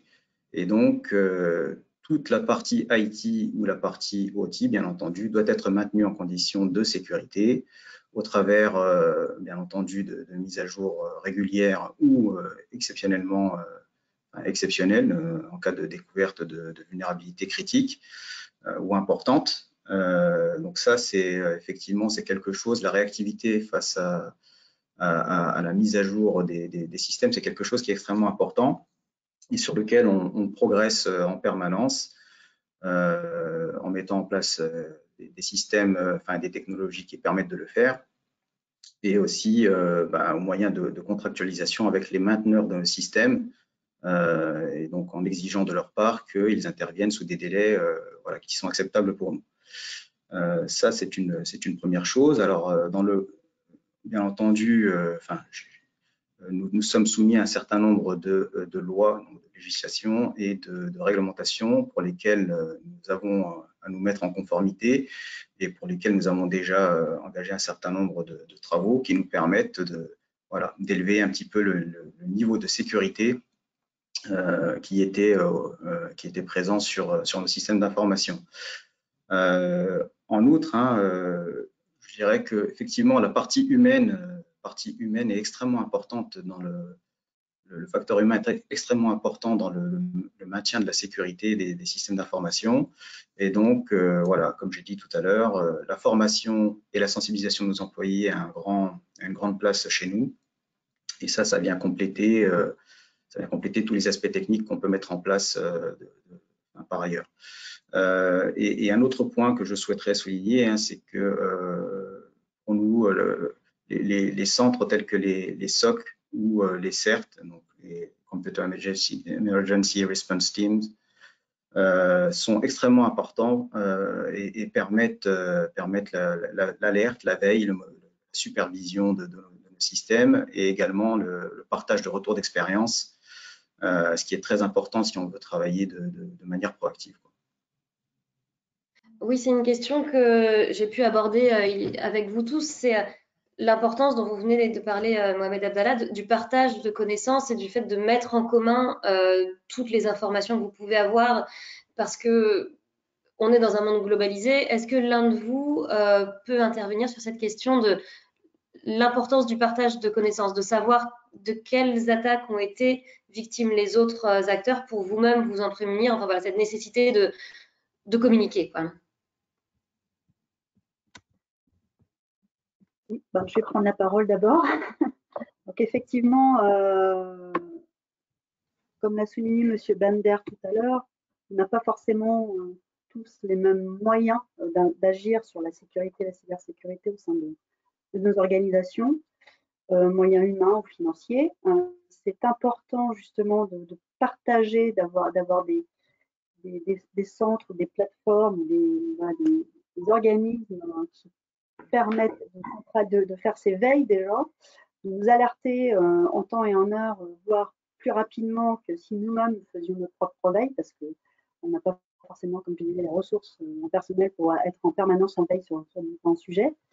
d'avoir des retours effectivement aussi sur, sur les solutions pour pallier les palliatifs à mettre en place pour éviter d'être attaqué ou, moins remédier ou anticiper ces attaques. Donc oui, le partage de connaissances est essentiel, euh, surtout dans, le secteur maritime. Euh, moi, j'ai travaillé dans d'autres domaines auparavant, par préalable et c'est vrai qu'il y avait déjà beaucoup d'échanges qui se faisaient. Euh, la santé, l'aérien, c'est déjà des, domaines où la cyber est prise en compte depuis très longtemps. le maritime, ça l'est plus ou moins. Euh, il y a une énorme prise de conscience depuis 5-6 euh, ans. Et effectivement, euh, le fait de voir des centres, des plateformes se mettre en place, pour moi, c'est un enjeu essentiel pour partager ses connaissances, être intra-formé de ce qui se passe et permettre aussi, comme on le fait aujourd'hui, interagir entre nous, voire échanger, s'informer. voilà, c'est effectivement essentiel voire même, je dirais même loin, pouvoir euh, avoir des, moyens d'accompagnement, euh, d'accompagnement en termes de formation de, nos personnels, pourquoi pas. Euh, je sais que l'ANSI, par exemple, met en place des, des MOOC, ce genre de choses. Euh, effectivement, c'est pas simple d'être, quand on est personnel navigant, d'aller dire tiens, je vais faire le MOOC de Nancy. Trouver des solutions d'accompagnement à ces personnels navigants de manière peut-être plus plus, accessible pour, pour ces personnes-là, euh, plus ciblé aussi sur leur périmètre, hein, euh, parce qu'un personnel sédentaire à terre dans un bureau, à la finance, au RH, n'aura pas forcément la même sensibilisation ou le même périmètre de sensibilisation qu'un personnel navigant à bord qui lui va s'occuper de, de, ces, systèmes. Donc c'est ça, c'est aussi avoir une aide, un accompagnement pour pouvoir euh, sensibiliser aussi le, personnel au niveau des formations. Alors je sais qu'il y y a des écoles maintenant euh, qui ouvrent des, des, programmes cyber, donc c'est très bien. Je pense à l'INP de Brest, par exemple. Euh, voilà, on, va former de plus en plus euh, en amont les, professionnels également. maintenant, on a un ensemble de personnels qui, n'ont pas encore cette, sensibilisation. Donc, d'être accompagné, ça, permettra effectivement aussi, nous, de nous aider aussi à, ben, faire monter en maturité euh, nos entreprises euh, en cybersécurité. Merci. Est-ce que vous voulez intervenir sur cette question du partage de connaissances avant qu'on passe aux questions de nos internautes qui ont peut-être envie de, s'adresser à vous? Je ne sais pas si Nicolas Chervi, Mohamed Abdallah, vous voulez intervenir ou on laisse la parole aux internautes. Juste pour dire qu'il n'y a, a, pas rien, il y a, déjà, il y a déjà des échanges hein, qui se font. Euh, L'ANSI nous envoie régulièrement, chaque fois qu'ils ont des, des, choses à nous signaler, ils nous envoient des messages qui sont reçus à 24 chez nous à la vigie et qui sont reroutés vers le, le, service informatique qui va, qui va prendre les mesures qui s'imposent. Euh, ensuite, effectivement, il, y a, il, y a il faut intégrer dans les cycles de formation des gens, je suis tout à fait d'accord avec ce qui vient d'être dit là-dessus. C'est plus complexe, on peut le faire en interne. Alors, il serait peut-être bien qu'au niveau national, effectivement, on puisse intégrer ces formations dans les droits audifs, des choses comme ça. Mais euh, le, le, plus complexe, finalement, pour nous, c'est d'être, euh, de pouvoir je dirais, certifier nos partenaires qui vont rentrer dans nos systèmes pour poser des déclarations ou faire des choses comme ça. Ça, c'est plus compliqué. Ça demande effectivement euh, à être intégré à la base dans la conception même des, systèmes pour qu'on puisse détecter euh, éventuellement les anomalies et surtout ben, les gens qui ne se connectent plus, les, les logins qui sont plus utilisés, des choses comme ça. Euh, il, y a, il, y a, 20 ans, enfin il y a 10 ans, les, les, anciens systèmes, on se rend compte qu'il y avait des pléthores de gens qui n'y rentraient plus, qui n'avaient plus accès et qui qui, finalement, ces, loggings-là étaient des portes d'engrais potentielles. Aujourd'hui, dans nos systèmes, dans nos, futurs systèmes et dans nos systèmes maintenant, ben, on a une alerte, quelqu'un qui n'est pas entré dans son, il n'a pas utilisé son logging pendant un certain temps, ben, il est automatiquement euh, déréférencé et, euh, et, à lui, près de revenir vers nous si ça pose un problème. Euh, il faut être vraiment effectivement très vigilant, mais euh, il y a des structures d'échange aujourd'hui qui existent et qui nous permettent euh, de recevoir de l'information et de, remonter de l'information. Il faut effectivement ben, les, les, les, structurer au fur et à mesure de la menace et peut-être les institutionnaliser à d'autres niveaux. Merci. Est-ce que Mohamed Abdallah, je vous laisse le dernier mot avant de passer aux questions des participants? Sur ce, point du partage d'informations, je dirais, effectivement, il y a énormément de choses qui ont été mises en place et qui nous permettent d'obtenir tout un tas d'informations et, d'en remonter. Et ça, c'est effectivement, c'est un gros progrès. Euh, de ce côté-là, je pense qu'on peut s'en féliciter. Euh, la petite, après, d'un point de vue pratique, la petite difficulté, c'est qu'on a souvent envie d'avoir l'information un tout petit peu plus tôt, euh, d'avoir, euh, des informations euh, un peu profondes et un peu précises à chaud au moment où l'événement se produit. Et c'est là où, il y a quelques phrases qui est tout à fait logique, puisque la communication doit être maîtrisée de la part de, la société qui, qui, qui, gère la crise. Donc voilà, c'est juste mon petit regret, mais, mais voilà, je ne sais pas ce qu'on peut mettre en place de ce côté-là. S'il y a peut-être euh, un peu de temps à gagner, c'est sur la, gestion de l'information à chaud.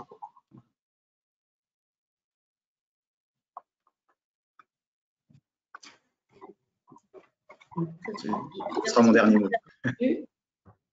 Ah, vous m'entendez? Oui.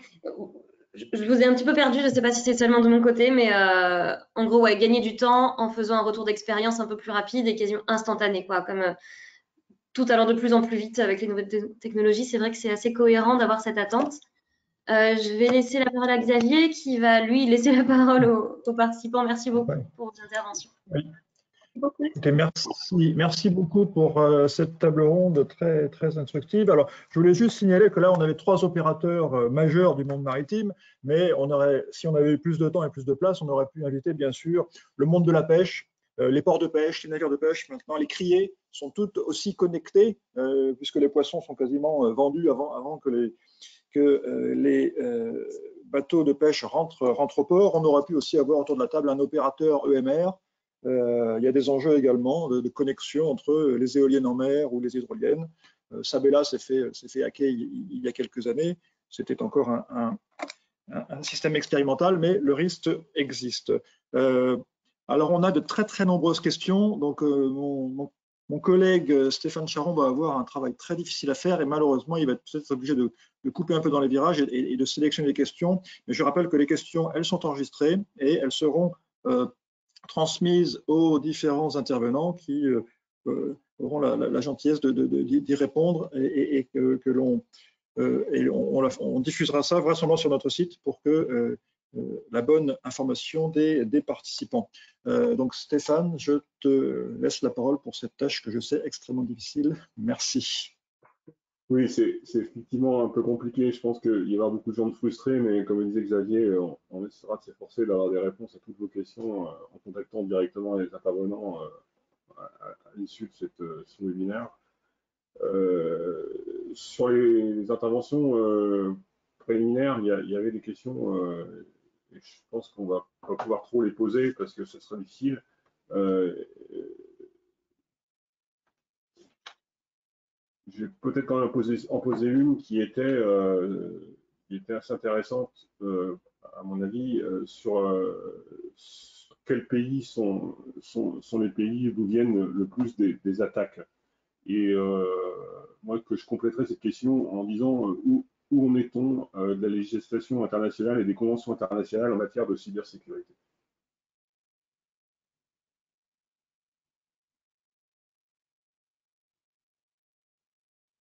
Peut-être que Madame Andron pourrait répondre à ça, je ne sais pas. Je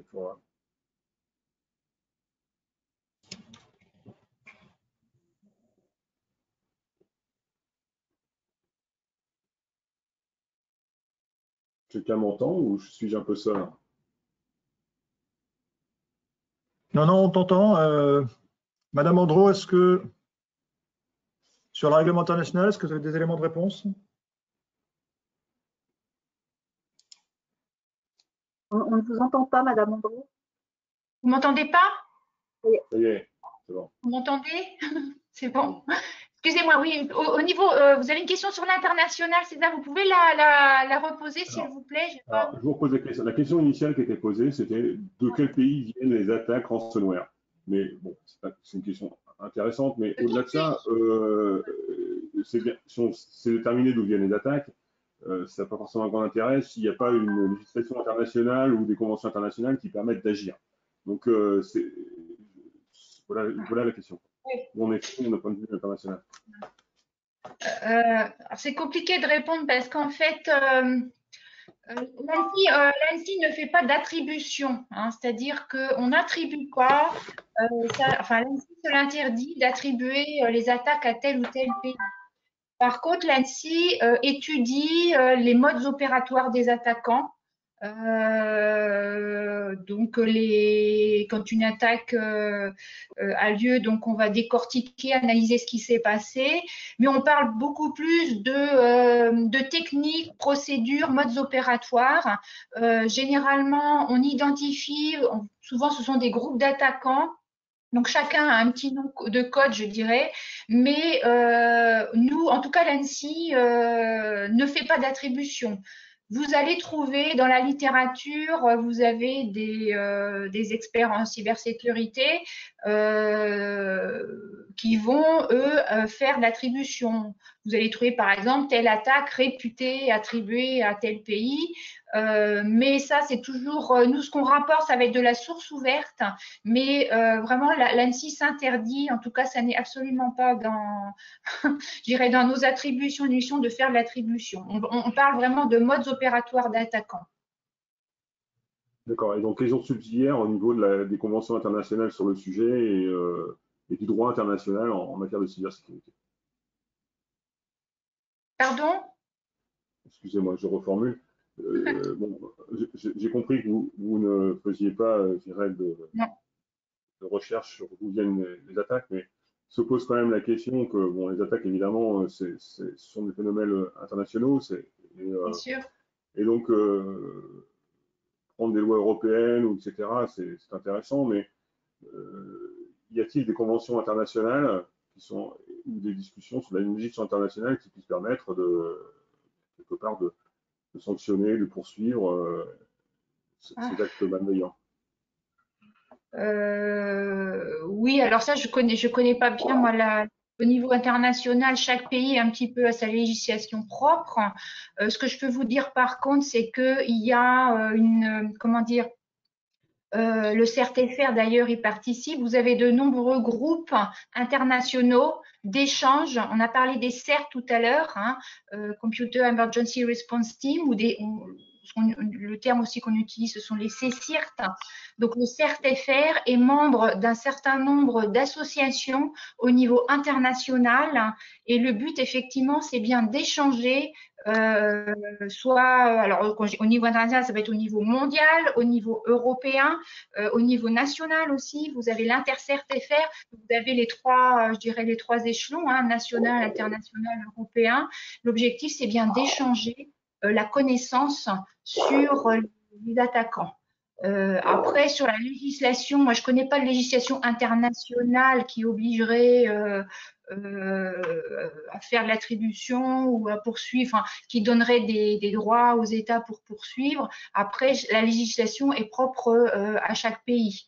Mais c'est clair qu'en France, le comment dire seule l'armée peut faire de la de la contre-attaque je dirais mais au niveau euh, du secteur euh, hors, euh, euh, militaire, euh, c'est absolument interdit. La loi aujourd'hui ne permet pas, je dirais, de contre-attaquer des attaquants.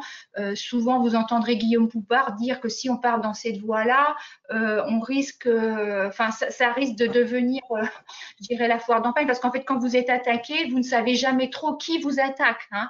Donc, si vous voulez riposter, vous allez riposter vers qui? Et ensuite, ça va être l'emballement, ça va être, donc c'est vraiment de, euh, de, cyberguerre, euh, on ne sait pas où on va. quoi. Donc là, c'est clair qu'aujourd'hui en France, euh, à part le domaine militaire, on, ne peut pas, la loi nous interdit une, quelconque entreprise de riposter. Par contre, il y a beaucoup de, de dialogue, d'échange sur vraiment les modes opératoires des attaquants à différents niveaux. Il y a de nombreux groupes d'échange et de coopération sur ces sujets-là pas si j'ai répondu à la question. Je pense que, oui. Euh, je vais poser maintenant une question qui, euh, qui va peut-être plutôt s'adresser à, qui s'adresse plutôt d'ailleurs à Britannic Faris, donc, euh, donc à Anne comment vous, voyez, vous, intégrer la cybersécurité dans la durée par rapport à, vos navires qui, qui, ont des durées de vie de plusieurs dizaines d'années? Et, donc des systèmes d'information qui, vont vieillir, etc. Comment, vous, voyez ça dans, la durée? Que, Et la problématique de l'hétérogénéité des, différents navires que vous pourrez avoir, etc. Alors, c'est une très bonne question qui nous fait aussi poser beaucoup de questions en interne. Euh, alors, l'intégration euh, de la cyber dans la durée, euh, nous allons nous appuyer sur l'intégration justement de la résolution MSC 428, donc l'obligation d'avoir de répondre à la norme du volet cybersécurité dans l'ISM. Donc déjà, cette, cette, cette, résolution euh, va nous obliger à revoir pour l'ensemble des navires euh, complètement les aspects cyber à bord des navires. Euh, donc, on va, comme je le disais tout à l'heure, le Galicia va nous permettre de, bâtir un framework de classification cyber. Bien sûr, on ne va pas faire classifier tous nos navires cyber parce qu'effectivement, dans, les trois ans, ça serait compliqué, mais ils doivent répondre quand même au volet cybersécurité dans le cadre des audits ISM. Donc ça, ça va se faire au fur et à mesure des audits dans, les mois et années à venir. Euh, les nouveaux navires, on les a pensés effectivement en termes de construction sur des modèles répondant aux risques cyber, aussi bien IT que OT. Donc on a deux zones navires qui vont arriver euh, dans, les deux, prochaines années qui seront construits euh, sur les mêmes modèles adapté en fonction des, des, audits que nous aurons eus justement, euh, notamment de, la classification cyber euh, du, Galicia. L'ancrage dans la durée, on veut le faire également par le biais de, des formations des, personnels. Maintenant, un levier sur lequel malheureusement nous n'avons pas beaucoup d'action, et ça, les, les, plateformes qui se mettent en place pourraient nous aider là-dessus, c'est effectivement la montée euh, ou la, mise aux normes ou en conformité des, navires, euh, on va dire des anciens navires de la flotte, donc certains ont 15, 20, presque 25 ans. Euh, comment on fait pour monter aujourd'hui au niveau cyber, en tout cas répondre aux normes de cybersécurité, ces navires-là? D'un côté, les systèmes sont quasiment complètement euh, isolés, puisque ce sont des systèmes physiquement euh, non connectés et, indépendants. On sépare bien l'IT de l'outil. Euh, non connectés à Internet. On a des demandes de fournisseurs de plus en plus pressantes de pouvoir faire des interventions de maintenance à distance sur les systèmes, pouvoir se connecter, ne serait-ce pour faire des gains, financiers, hein, ne pas faire déplacer des, personnels à bord, etc. Ça prend du temps, donc c'est du gain de temps aussi. Euh, donc, on réfléchit, on a mis quelques systèmes à base de clés mécaniques, manuelles euh, à bord. Euh, maintenant, on, sait très bien, on n'est pas les, seuls, hein, que certains systèmes tournent à la machine, tournent, encore sur l'XP. XP qui est plus, maintenu. voilà, il y, a encore des. Si on creuse c'est-à-dire système par système, chaque fournisseur va nous dire si, si, le nôtre est, super sécurisé, répond bien aux normes, telle norme, telle norme, telle norme quand on doit tous les, mettre dans un navire, les interconnecter, euh, quand on a la complexité finalement de tous ces systèmes à bord qui, doivent travailler sur les mêmes réseaux, on, ouvre des failles des vulnérabilités. Donc sur ces aspects-là, on a, un, manque d'accompagnement des fournisseurs qui sont souvent un peu euh, les maîtres du jeu parce qu'ils vont nous imposer des systèmes ou nous dire on ne va pas mettre à jour les systèmes et en plus c'est très compliqué sur un navire de remettre, de changer un système ou de le mettre, euh, de l'upgrader. Ça peut avoir des impacts et des conséquences. Quand le navire est en exploitation, euh, c'est pas forcément euh, simple de le faire. on a des arrêts techniques réguliers, donc on peut imaginer changer ces systèmes durant des arrêts techniques. donc il y a ces aspects-là aussi à prendre en compte.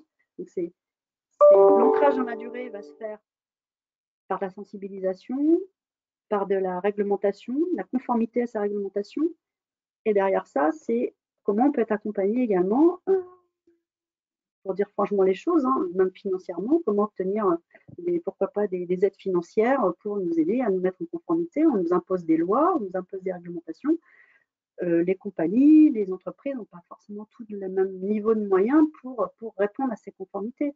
Donc, soit on met en place des, des palliatifs qui vont atténuer, des architectures qui vont permettre cette atténuation, euh, soit effectivement ben, ça demande à, investir. Euh, sachant qu'effectivement, plus, malheureusement, la, situation actuelle n'est pas, pas forcément favorable. Donc voilà, c'est c'est pas facile, je ne vais pas vous répondre comme ça à la question en vous disant on fait comme ça, comme ça, comme ça. Ça dépend de certains facteurs dont certains ne dépendent pas forcément que, que de, l'opérateur ou de l'armateur lui-même. Euh, oui, euh, merci. Je voulais juste intervenir pour signaler qu'on a 30 minutes de retard. Euh, alors bon, on, peut déborder, il n'y a pas de souci, la plateforme restera ouverte. Hein, mais là, voilà, à, ce stade, on va finir à midi et demi.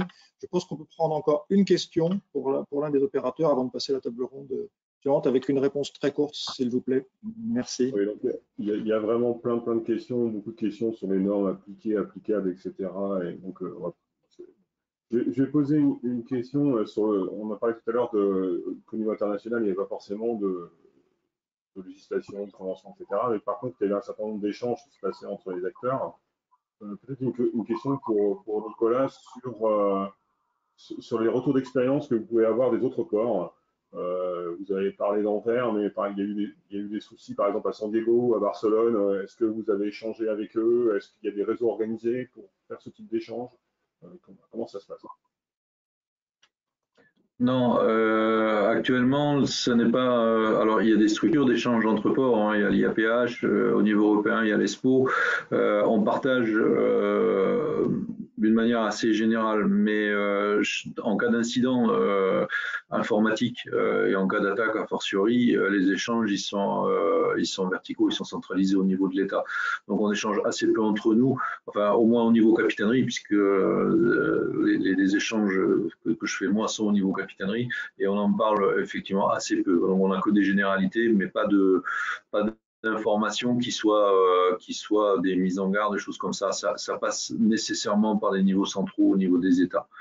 Euh, après, euh, c'est peut-être quelque chose qui effectivement pourrait être mis en place dans les structures existantes, que ce soit l'IAPH au, au niveau international ou l'ESPO au niveau l'ESPO European Support Organization au niveau européen, effectivement que les services, les IT services des différents ports euh, mettent en place des structures transversales euh, pour échanger là-dessus, mais c'est pas encore c'est pas encore fait.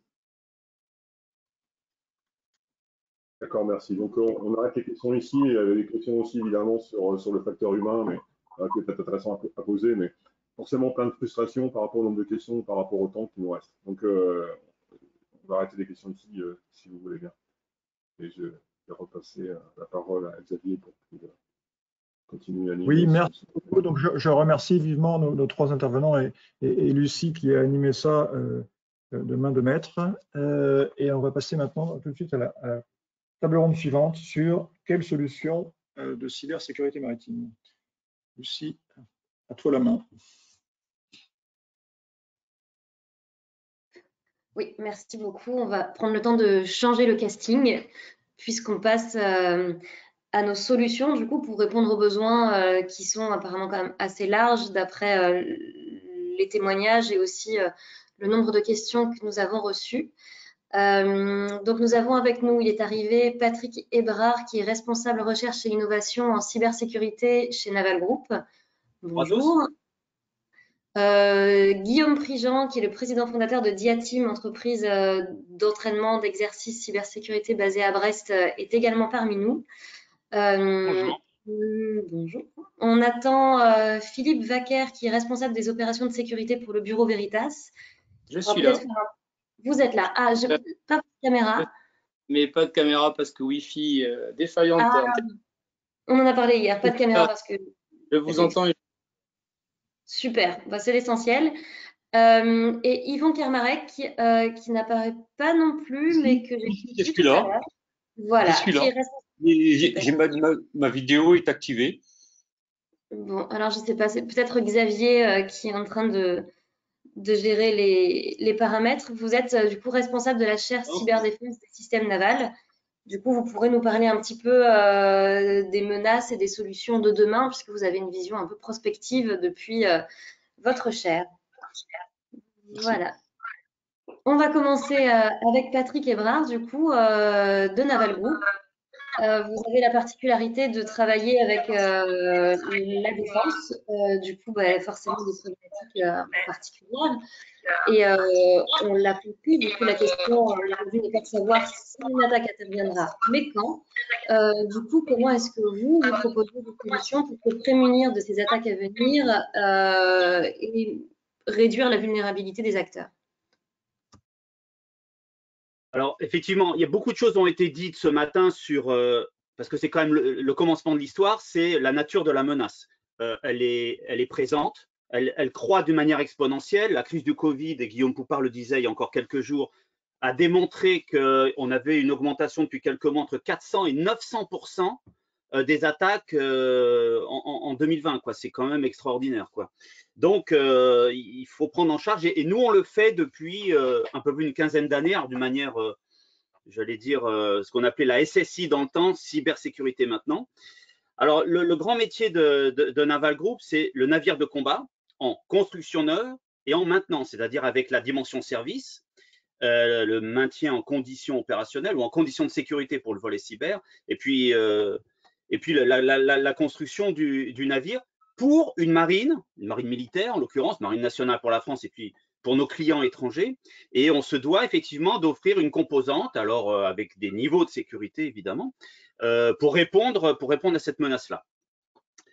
Euh, aujourd'hui, le, volet, enfin, la grosse problématique, c'est de répondre à, de l'hygiène numérique. Comme le disait un des anciens directeurs de l'ANSI, 80% des problèmes de sécurité sont des problèmes assez élémentaires, c'est-à-dire d'hygiène numérique. Euh, une clé USB qui, est branchée alors qu'elle ne devrait pas, euh, une mauvaise mise à jour par un CD-ROM, enfin qui, est corrompu, etc., etc. Donc avec et, c'est tout à fait d'actualité avec des gestes barrières, on va éliminer l'essentiel 80. Euh, enfin, c'est une image évidemment, mais le, gros, le, gros de, la menace de type ransomware, tout simplement. Hein. Les ransomware, ils rentrent par de la, pièce jointe dans des mails quand les systèmes sont connectés ou de la clé USB quand les systèmes ne sont pas connectés. Euh, si on filtre, si on est extrêmement vigilant sur ces, euh, deux intrusions-là, de forme, de vecteurs d'attaque-là, euh, évidemment qu'on va considérablement limiter l'intrusion. Alors maintenant, les 20% qui restent, ça, c'est la partie qui pose problème à tout le monde d'ailleurs ce sont les attaques évoluées, les nouveaux types d'attaques, et en particulier les attaques ciblées, qu'on pourrait appeler APT, Advanced Persistent Threat, euh, etc. Enfin, il y, a, bon nombre d'exemples euh, depuis dix ans hein, qui, illustrent ça. Et là, c'est très compliqué. C'est très compliqué parce qu'on rentre dans un domaine où on doit détecter, déceler quelque chose qu'on ne connaît pas. Alors, une des pistes, et c'est un peu euh, une de mes responsabilités, y compris d'ailleurs en tant que partenaire de la chaire, et je pense qu'Yvon en, en, reparlera, mais l'apport de l'intelligence artificielle pourrait nous aider, pas que, mais c'est une des composantes euh, actuelles de la recherche, pour essayer de caractériser les systèmes de manière à déceler des, euh, et vous l'avez dit, des signaux faibles, des défauts de comportement ou des anomalies peut-être même minimes, mais qui pourraient potentiellement euh, mettre en avant euh, une corruption, un début de corruption, un début d'attaque ou une préparation d'attaque. Donc, ça, ce sont vraiment des, sujets d'actualité. On fait des expérimentations. Il y, a, plusieurs thèses sur le sujet. Yvon va vraisemblablement en reparler. On est au cœur de la recherche actuellement. Alors, pour répondre, ce que nous, on propose euh, à nos clients, évidemment, il y a un volet technique, un volet non technique, comme toute politique de sécurité. Dans le volet technique, ben, on, utilise, et en particulier, euh, on, l'a légèrement évoqué euh, tout à l'heure, euh, idéalement des produits souverains pour les navires français, parce que c'est bien beau, enfin, répondre à, j'allais dire, un contexte d'attaque en mettant des produits de sécurité, c'est bien, faut-il que ces produits soient de confiance? Et donc souverain pour ce qui est de la souveraineté nationale pour le ministère des Armées. Si vous utilisez typiquement, c'est le cas avec un antivirus, un antivirus dont vous avez des doutes sur ce qu'il va détecter ou pas, c'est quand même très discutable comme politique. Donc, il y a tout un tas de notre, rôle, nous, c'est d'intégrer les bons produits de sécurité qui correspondent à la politique de sécurité du pays dans lequel euh, on souhaite vendre. On va, j'allais dire, si tant est qu'un jour on vende un navire aux États-Unis, bon, on peut toujours l'espérer, euh, on n'irait pas mettre un antivirus russe, typiquement. Donc, il y, a, cette vraie logique de, euh, d'avoir une politique de produit en adéquation avec la politique du client. Ensuite, il y a le volet euh, non technique, avec l'aspect physique. C'est pas que de l'aspect technique avec des équipements de sécurité. L'essentiel de la sécurité se fait avec des bonnes pratiques, avec euh, euh, des, quand on a des objets sensibles comme des routeurs, des équipements réseau, les mettre dans des locaux techniques non accessibles par tous, etc., etc. Et sur le plan, enfin, le plan humain, pardon, eh ben, c'est aussi euh, faire de la sensibilisation, et je pense que les opérateurs, euh, c'est aussi ce qu'ils font, hein, euh, dans les ports aussi, on, l'a évoqué ce matin, sensibilisation, formation, et troisième volet, entraînement. Et je pense que là, Guillaume Prigent reparlera avec ce que fait Diatim. C'est essentiel, un Indien averti en valant deux, un marin averti, on vaut aussi certainement plusieurs.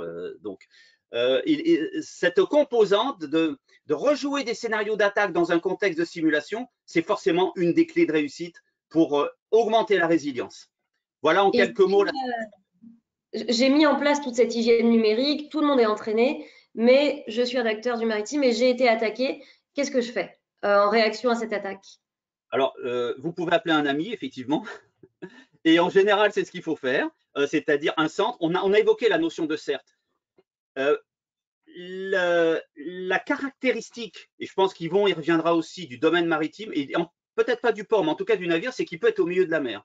Et là, euh, ben, va falloir se débrouiller tout seul, ou alors avec une aide à distance, parce que la camionnette de Darty, elle va pas venir euh, dans l'instant. Donc, on a aussi cette complexité du contexte, euh, navire civil ou opérationnel. Que, voilà, quand on a un équipage, euh, l'équipage, il est là pour opérer un navire, il n'est pas là pour réparer euh, des bouts de logiciels, de firmware, etc. à l'intérieur du navire. Donc, c'est quand même extrêmement compliqué. Donc, il y a une réponse euh, qui est faite. Nous, sur, un certain nombre de systèmes embarqués, et on l'a évoqué ce matin, sur un navire, il y a beaucoup d'IT, il y a beaucoup d'outils, il y a des automates industriels, la propulsion, la gouverne, des pompes dans les bateaux c'est des systèmes assez complexes euh, et qui nécessitent, il n'y a pas pléthore en plus de produits de sécurité. Il commence à y en avoir. C'est quand même des, sujets un peu, un peu nouveaux depuis 10 ans, hein, à, peu de choses près.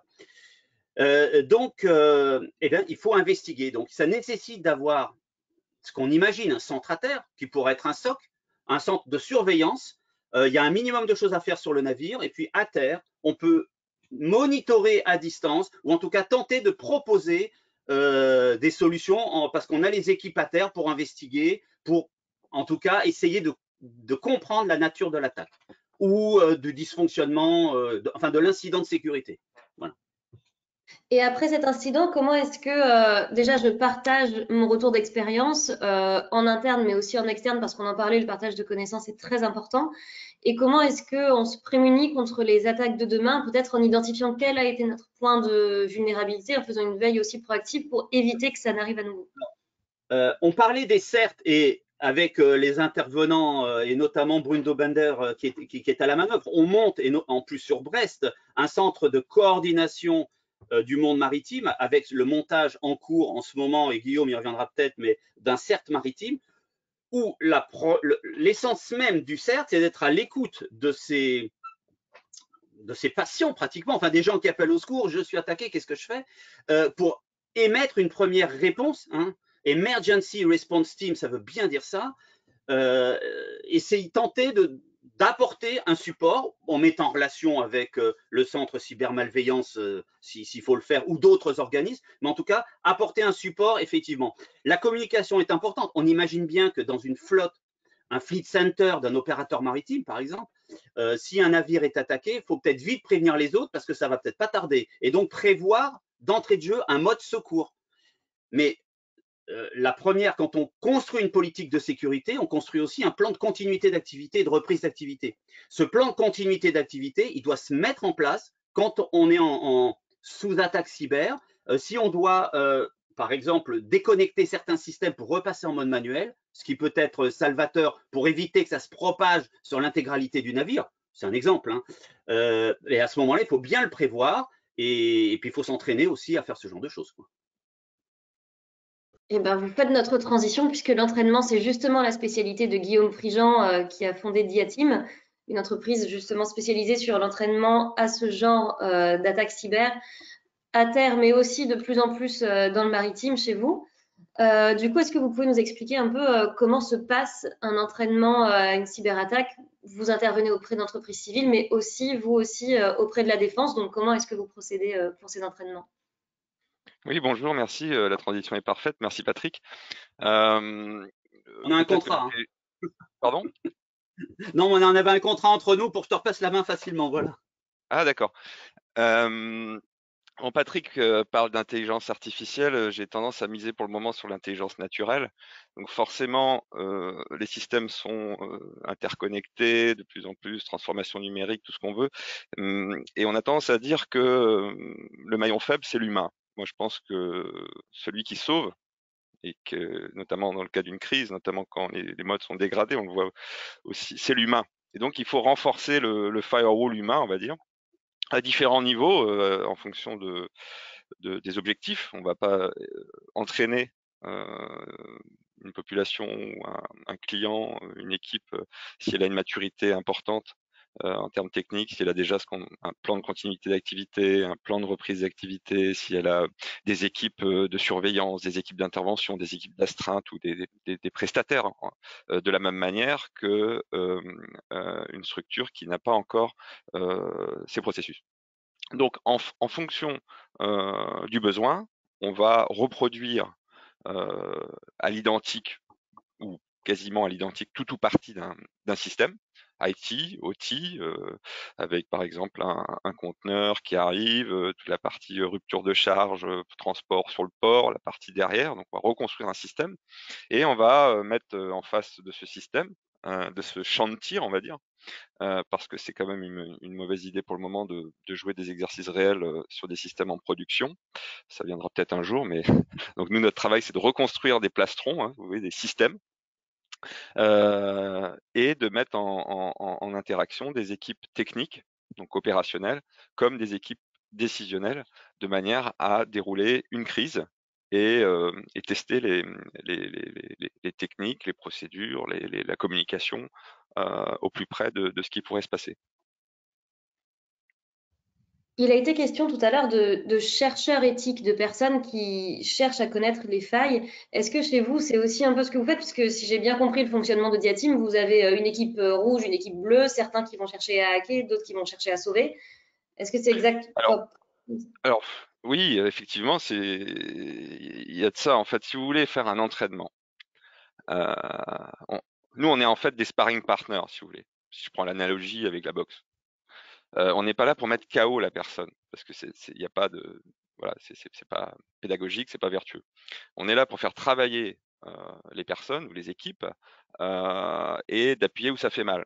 Le but, c'est, comme je dis souvent, c'est quand même plus agréable de tomber du vélo quand on a les petites roues avec papa derrière que se prendre le mur alors qu'on s'était jamais jamais préparé. donc on on a besoin de différents facteurs pour un entraînement réussi. Euh, le premier, c'est le réalisme. Il faut y croire, il faut, que ça soit réaliste, il faut que le, système et, ce qui se passe euh, euh, dans, l'exercice, dans l'entraînement, soit réaliste par rapport aux besoins métiers des opérateurs. Donc, on ne va pas mettre un capitaine de port, un capitaine ou, une infrastructure face à un système bancaire si on doit. donc, il faut que ce soit réaliste. Et pour que ce soit réaliste, il faut qu'on soit au plus près de la menace, notamment donc sur l'infrastructure IT, OT, SCADA, les intercos, les télécommunications, tout ce que vous voudrez, mais aussi sur les chemins, les chemins et les données, donc les chemins qui vont être mis en œuvre par l'attaquant, que ce soit au niveau APT, Patrick en, parlait, d'attaque avancée, ou de la simple phishing frauduleux d'attaque de masse, on va avoir besoin d'un réalisme. Et ce réalisme, il se fait à travers une veille. Donc chez nous, effectivement, on a des gens euh, qui passent leur temps, ce qu'on appelle la connaissance de la menace, ou ça peut aussi s'appeler CTI, enfin CTI, et donc on va venir euh, essayer de récupérer le maximum d'informations en source ouverte ou en partage sur des forums, euh, des malwares, des rangs logiciels, des chemins exploités, des vulnérabilités qui ont été exploitées, qui ne sont pas forcément publiques et, on ne sait pas forcément d'où ça vient dans les réseaux, dans nos réseaux, euh, en tout cas, on, a parfois un peu plus d'idées et euh, on ne communique pas non plus comme euh, l'ANSI ne communique pas sur, sur ses attributions, on laisse souvent aux Américains. mais donc on récupère et on adapte ces charges ou ces scénarios en fonction des, des besoins qu'on a pour entraîner les personnes. Et dans vos scénarios d'entraînement, vous apprenez aussi à, vos clients à mettre en place une chaîne de décision, à armer un dispositif pour se protéger et ensuite à faire tout le débriefing à chaud, à froid sur euh, qu'est-ce qui a fonctionné, qu'est-ce qui n'a pas fonctionné pour que le jour où ça arrive, on soit le plus près possible. Bah, oui, effectivement. Alors, nous, en tant que team pur historiquement, on n'est que des ingénieurs, des hackers éthiques, euh, des, des techos, on va dire, au départ. Donc, on est sur la chaîne opérationnelle. Euh, donc on entraîne typiquement nous des SOC, euh, on teste des CERT, on teste des, équipes d'intervention, on va tester de, la partie IT, OT. Euh, et ça, c'est le volet opérationnel d'une crise. Mais une crise se résout pas seule. Je veux dire, c'est pas l'équipe opérationnelle qui va résoudre la crise. Certes, c'est elle qui va peut-être aller débrancher. On parlait tout à l'heure de couper un segment réseau, mais c'est pas forcément elle qui va le décider. Donc, dans une crise, quand quelqu'un décide qu'on est en crise, il faut déjà la détecter, faut que quelqu'un alerte, dise OK, il faut la qualifier, l'évaluer au niveau de sa gravité. On ne va pas sortir des crises à chaque fois.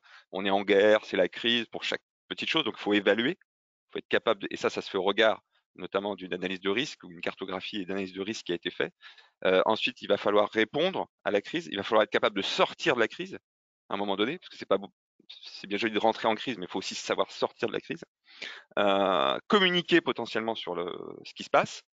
Euh, et ça, c'est pas gagné pour tout le monde. Euh, il y en a qui savent à peu près bien le faire, il y en a qui savent très très mal le faire et ça peut être contre-productif. Donc là, c'est pareil, la communication de crise, qu'elle soit interne ou externe vers les médias, vers le réseau, elle doit être préparée en amont. Et enfin, il faut capitaliser et améliorer les processus. Donc effectivement, une vraie crise complète, puisqu'il y a plusieurs scénarios de crise. Hein. On peut faire des exercices tabletop, où on fait des injects d'événements, mais bon, c'est une sorte de jeu de rôle pour tester un peu les processus, donc ce qu'on appelle la cellule décisionnelle, euh, avec escalade, au COMEX, euh, la communication et tout ça. Il va y avoir les exercices ultra réalistes qu'on fait nous, une espèce de flight simulator, enfin simulateur de vol pour les, bah, les pilotes. Euh, donc on va les mettre dans des situations ultra rudes et au plus proche de la réalité. Et puis après, il va y avoir l'exercice complet qui va mener la cellule opérationnelle, donc dans un, système, euh, avec la cellule décisionnelle. Et c'est ce qu'on fait euh, pour les, les, EIV, par exemple, les plus matures, ou pour un port, ou pour euh, bah, le ministère des Armées. Là, je ne pourrais pas rentrer dans trop les détails des, exercices pour eux, mais avec le volet, le volet complet, parce qu'une gestion de crise, c'est tout un système, du technique, de l'humain, du process, la gestion du stress, la communication. Et c'est comme ça que ça se passe en vrai, je peux vous assurer. Ok, merci beaucoup. Euh, je vais me tourner vers euh, Philippe Vaquer, du coup, du bureau Veritas, euh, parce que donc toute cette chaîne dont vient de nous parler Guillaume Prigent, les armateurs sont un peu en ordre de bataille aujourd'hui pour la mettre en œuvre, parce qu'il y a une nouvelle législation de l'OMI qui va se mettre en place en janvier. les armateurs vont maintenant devoir prendre en compte cette, ce risque cyber du côté législatif, en plus de la réalité de la menace. Donc, euh, qu'est-ce qui va changer euh, au 1er janvier 2021 sur cette réglementation OMI alors, on ne parle pas vraiment d'une réglementation et euh, ce n'est pas vraiment nouveau puisque c'est une résolution de l'OMI, la fameuse MSC 498.98 qui date de 2017 en fait et qui demande à ce que tous les armateurs euh, est inclus d'ici le 1er janvier 2021 la cybersécurité euh, dans leur safety management system. Euh, les États des pavillons vont s'assurer à partir donc du 1er janvier 2021 que ces exigences de l'OMI ont bien été prises en considération par les armateurs. Ça veut dire que les armateurs auront identifié les risques cyber auxquels ils sont susceptibles de faire face, qu'ils ont mis en place une gestion de ce risque cyber et que tout cela sera auditable au moment de la vérification des documents de conformité. cette fameuse, euh, qu'est-ce qu'on attend en gros des armateurs? Ben, Rien de moins que cette fameuse approche en, cinq étapes qui est préconisée par l'ANSI et, par d'ailleurs par l'ensemble des, instances internationales en matière de cybersécurité. C'est euh, identifier les risques, euh, s'en protéger, être capable de détecter, euh, de, répondre et puis euh, de restaurer, c'est-à-dire de revenir à l'état initial euh, opérationnel. Donc, cette résolution de l'OMI, elle demande de garder à l'esprit, alors j'utilise bien le mot garder à l'esprit, puisque c'est la, traduction de bear in mind dans la recommandation. On demande de, garder à l'esprit les recommandations BIMCO. Et les recommandations du BIMCO, elles ne sont pas vraiment faciles à mettre en œuvre pour un armateur qui n'a pas de ressources dédiées ou un armateur qui ne recherche pas une, assistance auprès de sociétés spécialisées. Donc, euh, Bureau Veritas Marine Offshore, euh, bon, euh, on n'a pas attendu la résolution de l'EMI pour créer les notations de classe cybersécurité. On en a une qui est dédiée aux navires en service et qui est donc très axée sur l'organisationnel, et une autre notation cyber qui est dédiée elle, aux navires en construction et qui, je dirais, est très axée secure by design. Donc en fait, qu'est-ce qu'on va demander aux armateurs pour obtenir ces notations? Euh, on va leur demander d'avoir de la documentation qui couvre cinq domaines. Euh, pour faire écho à ce que vient de dire euh, Monsieur Prigent, le premier domaine qu'on demande de couvrir, c'est la formation des équipages, évidemment. La sensibilisation cybersécurité adaptée au niveau de responsabilité des marins. Et, quand on parle des marins, je parle de l'armateur jusqu'au matelot.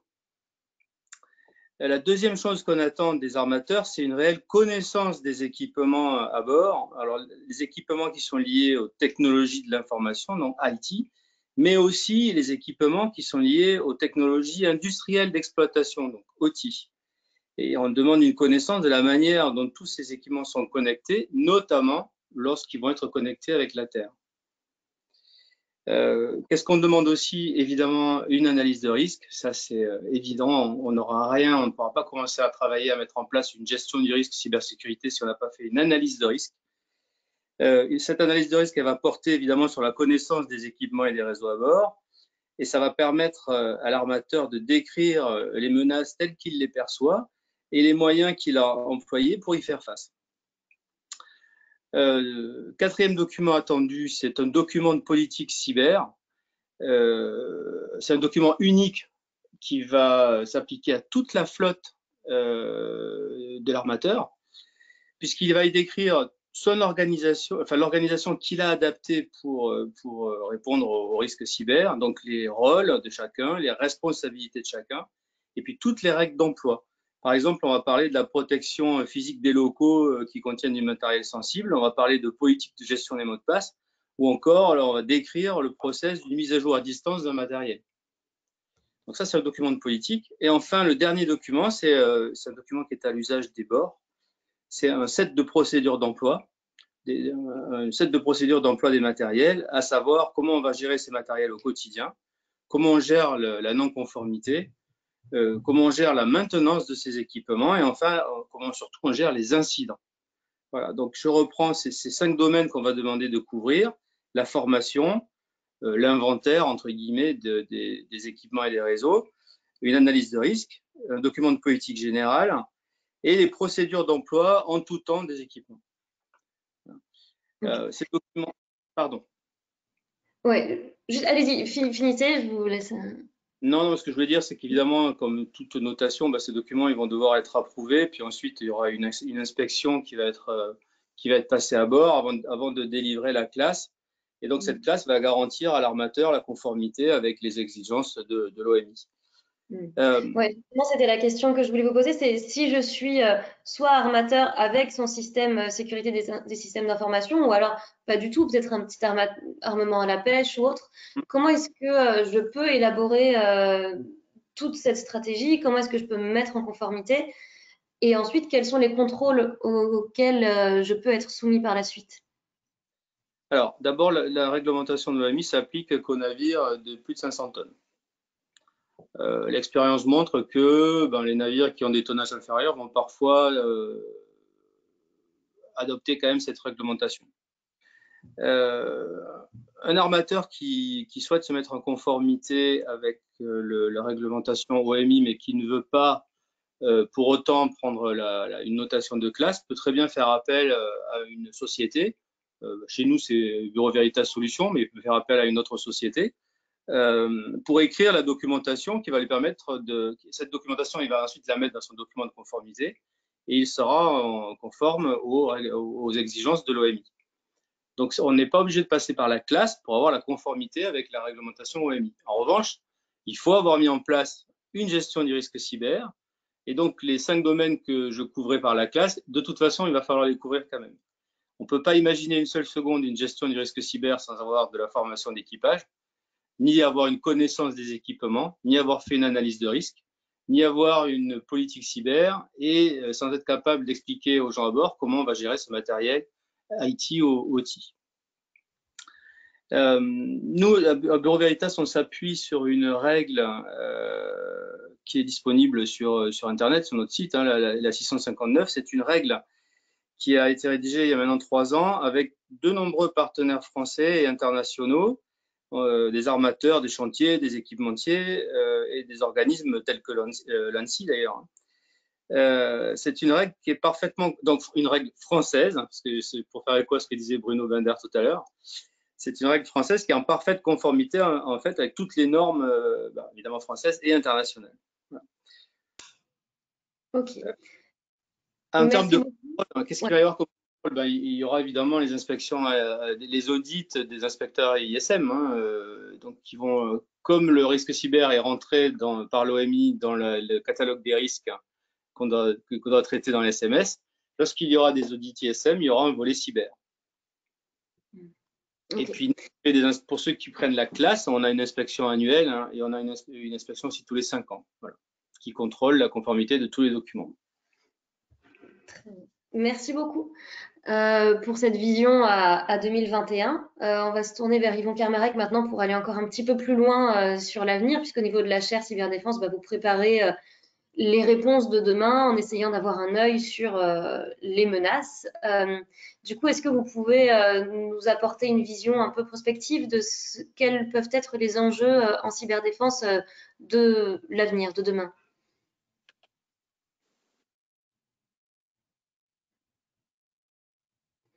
Alors, je crois qu'on ne vous entend pas. Est-ce que votre micro est allumé? Ah ben, on vous a complètement perdu. Voilà. toujours pas de son chez Yves. Ah, ah voilà, c'est bon. Et vous voulez Excusez-moi. C'est bon. Je pensais qu'il était piloté par euh, Xavier. Donc, euh, comme, comme je l'ai indiqué, d'abord, euh, la chaire, c'est d'abord une équipe. Et, et les résultats que je vais aborder ou que je vais présenter sont ceux d'une équipe au sens large, donc j'en suis le porte-parole. Euh, pour ceux qui ne la connaissent pas, bah, je vous invite à regarder euh, dans un premier temps le site web de la chaire.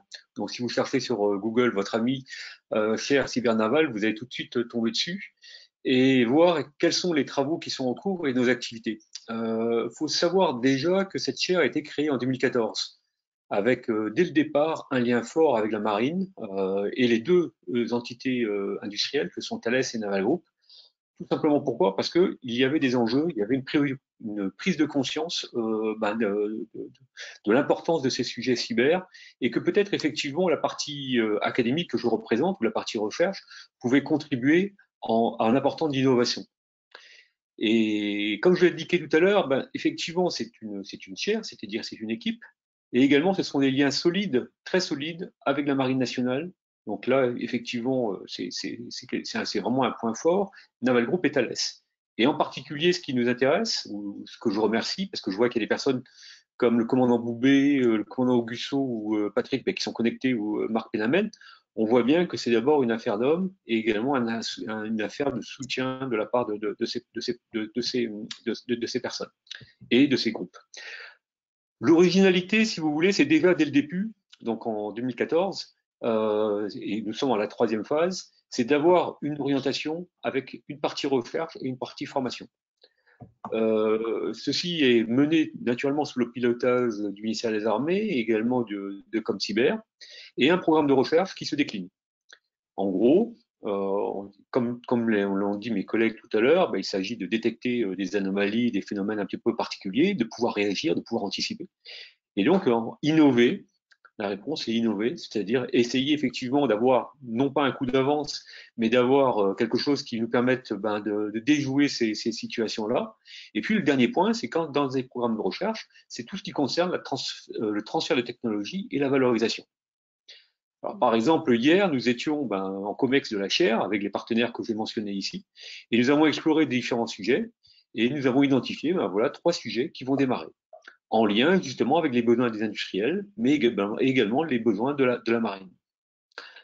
Alors, effectivement, comme on l'a dit tout à l'heure, les, attaques et autres sont, inévitables dans, le, monde dans lequel on est. Euh, on, voit effectivement que l'interconnexion et la dépendance de plus en plus de, dispositifs divers et variés font que la surface d'attaque est, énorme.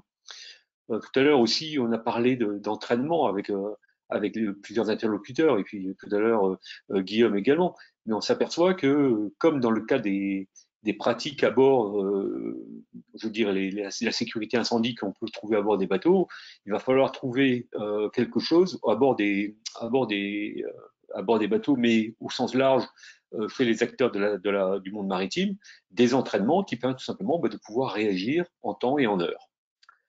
Alors un sujet de thèse que je, vais présenter, parce que ça répond également à, un point qui a été souligné par, par, par Madame Despoulins tout à l'heure. Elle souligne en particulier la complexité des systèmes. Bon, je pense qu'on est bien d'accord, euh, c'est quelque chose qui est très important à, indiquer. Cette complexité s'exprime également par la durée de vie des équipements. Encore une fois, nous sommes sur des dizaines d'années, dans 40 ans. Euh, le, successeur du, porte-avions Charles de Gaulle, il va durer, euh, sauf erreur de ma part, je crois en 2080. Donc vous imaginez le temps. Et puis on sait effectivement que par rapport à la thématique abordée par Mme On va avoir une thèse, par exemple, qui s'intéresse à euh, ce qu'on appelle les patchs, les mises à jour.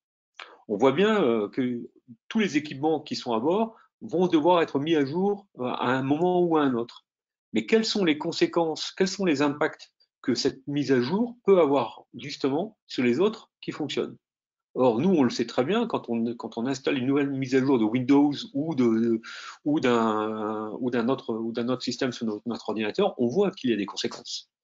Et justement, le travail de cette thèse, c'est de voir, ben, est-ce qu'on est capable d'anticiper en amont, d'avoir un regard, on va dire, scientifique, pour identifier les impacts sur les différents systèmes, et pour pouvoir les mesurer. Pour que justement, celui qui prendra la décision mettre d'appliquer ou non ce correctif, sache exactement quels sont les impacts. Vous faisiez l'analogie tout à l'heure entre la cybersécurité et euh, ce qui a été mis en place par le passé pour la sécurité incendie. Est-ce qu'on peut imaginer que demain, euh, toute la question de la cybersécurité sera complètement analysée, on saura que ce sera pris en compte dans chaque navire et auquel cas, quelles seront euh, les solutions qui vont être euh, de base mises, euh, mises en place, que ce soit l'intelligence artificielle, le chiffrage des données, enfin, qu'est-ce qui sera mis en, place comme solution? Alors, je, je, reprends aussi un point qui avait été abordé par tout, à l'heure, c'est-à-dire qu'en fait, anticiper tout, c'est pas possible. On le voit bien, y compris dans les systèmes d'information et classiques et dans les systèmes, enfin les systèmes maritimes ou les systèmes portuaires, on ne pourra pas anticiper tout. Donc, première chose. Deuxième chose, ça veut dire que quelles sont les, solutions? Bah, Effectivement, comme l'a indiqué tout à l'heure les interlocuteurs, les interlocuteurs précédents, il y a un volet formation et un volet sensibilisation qui est énorme à réaliser. Euh, Madame Desmoulins tout à l'heure citait les, formations qui sont données à IMT Atlantique. Euh, parmi celles-ci, ben, il y a également un nouveau master justement qui est consacré à la cybersécurité des systèmes maritimes, en lien avec l'Insta Bretagne, l'école de la marine marchande et euh, l'école navale on s'aperçoit qu'il va falloir proposer des nouvelles formations qui répondent, justement à la spécificité du domaine. Le deuxième, le, point aussi, c'est que on voit bien que dans le cas, par exemple, de cette formation, parce que c'est une mission de la chaire, en parallèle avec le volet de recherche, nous avons développé un volet de formation qui fait que tous les officiers actuellement, tous les élèves officiers de la marine nationale sont sensibilisés aux conséquences et aux enjeux de la cybersécurité. Certains ont une formation un peu plus approfondie s'ils le choisissent, mais ça veut dire qu'ici, il y a une réelle prise de conscience. Tout simplement pourquoi? Parce que la sécurité, c'est une affaire qui nous concerne tous à bord, et puis qui est également une des, responsabilités de chacun. Alors, quels sont les, moyens pour y arriver? Alors, Tout à l'heure, effectivement, euh, on a entendu parler d'intelligence artificielle. Euh, on voit effectivement qu'on va récupérer énormément de données parce qu'on va traiter euh, énormément de logs, par exemple, ou autre il faudra bien effectivement être capable de, traiter ce, volume d'informations qui arrive pour détecter, je dirais, l'aiguille dans la botte de foin. Mais derrière ça, également, il y a tout ce qui concerne, parmi les thèmes de recherche qui peuvent être intéressants, tout ce qui concerne les IHM et la présentation des résultats ou des tableaux de bord. Encore une fois, comme l'a indiqué tout à l'heure euh, Guillaume, par exemple, c'est pas la peine de, de signaler des, des, des, des, erreurs mineures, mais il faut être capable bah, justement de présenter euh, aux décideurs l'erreur ou la situation qui peut être anormale, mais également pourquoi elle est, pourquoi elle est anormale. C'est-à-dire d'être capable euh, d'avoir un minimum d'informations sur le contexte. Il y a un autre point également parmi les, les, les recherches qui peuvent être intéressantes, c'est tout ce qui concerne l'aide à la décision. Encore une fois, euh, on voit bien que l'opérateur maritime qui est seul à bord, comme l'a souligné tout à l'heure Patrick Evrard, euh, à bord du bateau, il va falloir qu'il prenne une décision. Mais on voit bien que la complexité est telle que justement, ben, il va falloir peut-être euh, l'aider euh, par différents mécanismes, peut-être avec, des, outils complémentaires qui lui permettront de mieux cerner le problème, de communiquer avec la station à terre, etc., ou de communiquer avec ses pairs. Et c'est vrai que tout ce qui concerne également les, les aspects de conception, les, ça, ça a été abordé, la, conception de ces systèmes, et puis en fait la maîtrise de la complexité. Encore une fois, euh, si j'ai bien compris, dans certains cas, et en particulier si je parle de bateau civil, on s'apercevra que euh, ben, c'est un empilement de technologies que plus personne ne maîtrise. Et rien que ça, ben, c'est effectivement une vulnérabilité qui est énorme. Mm.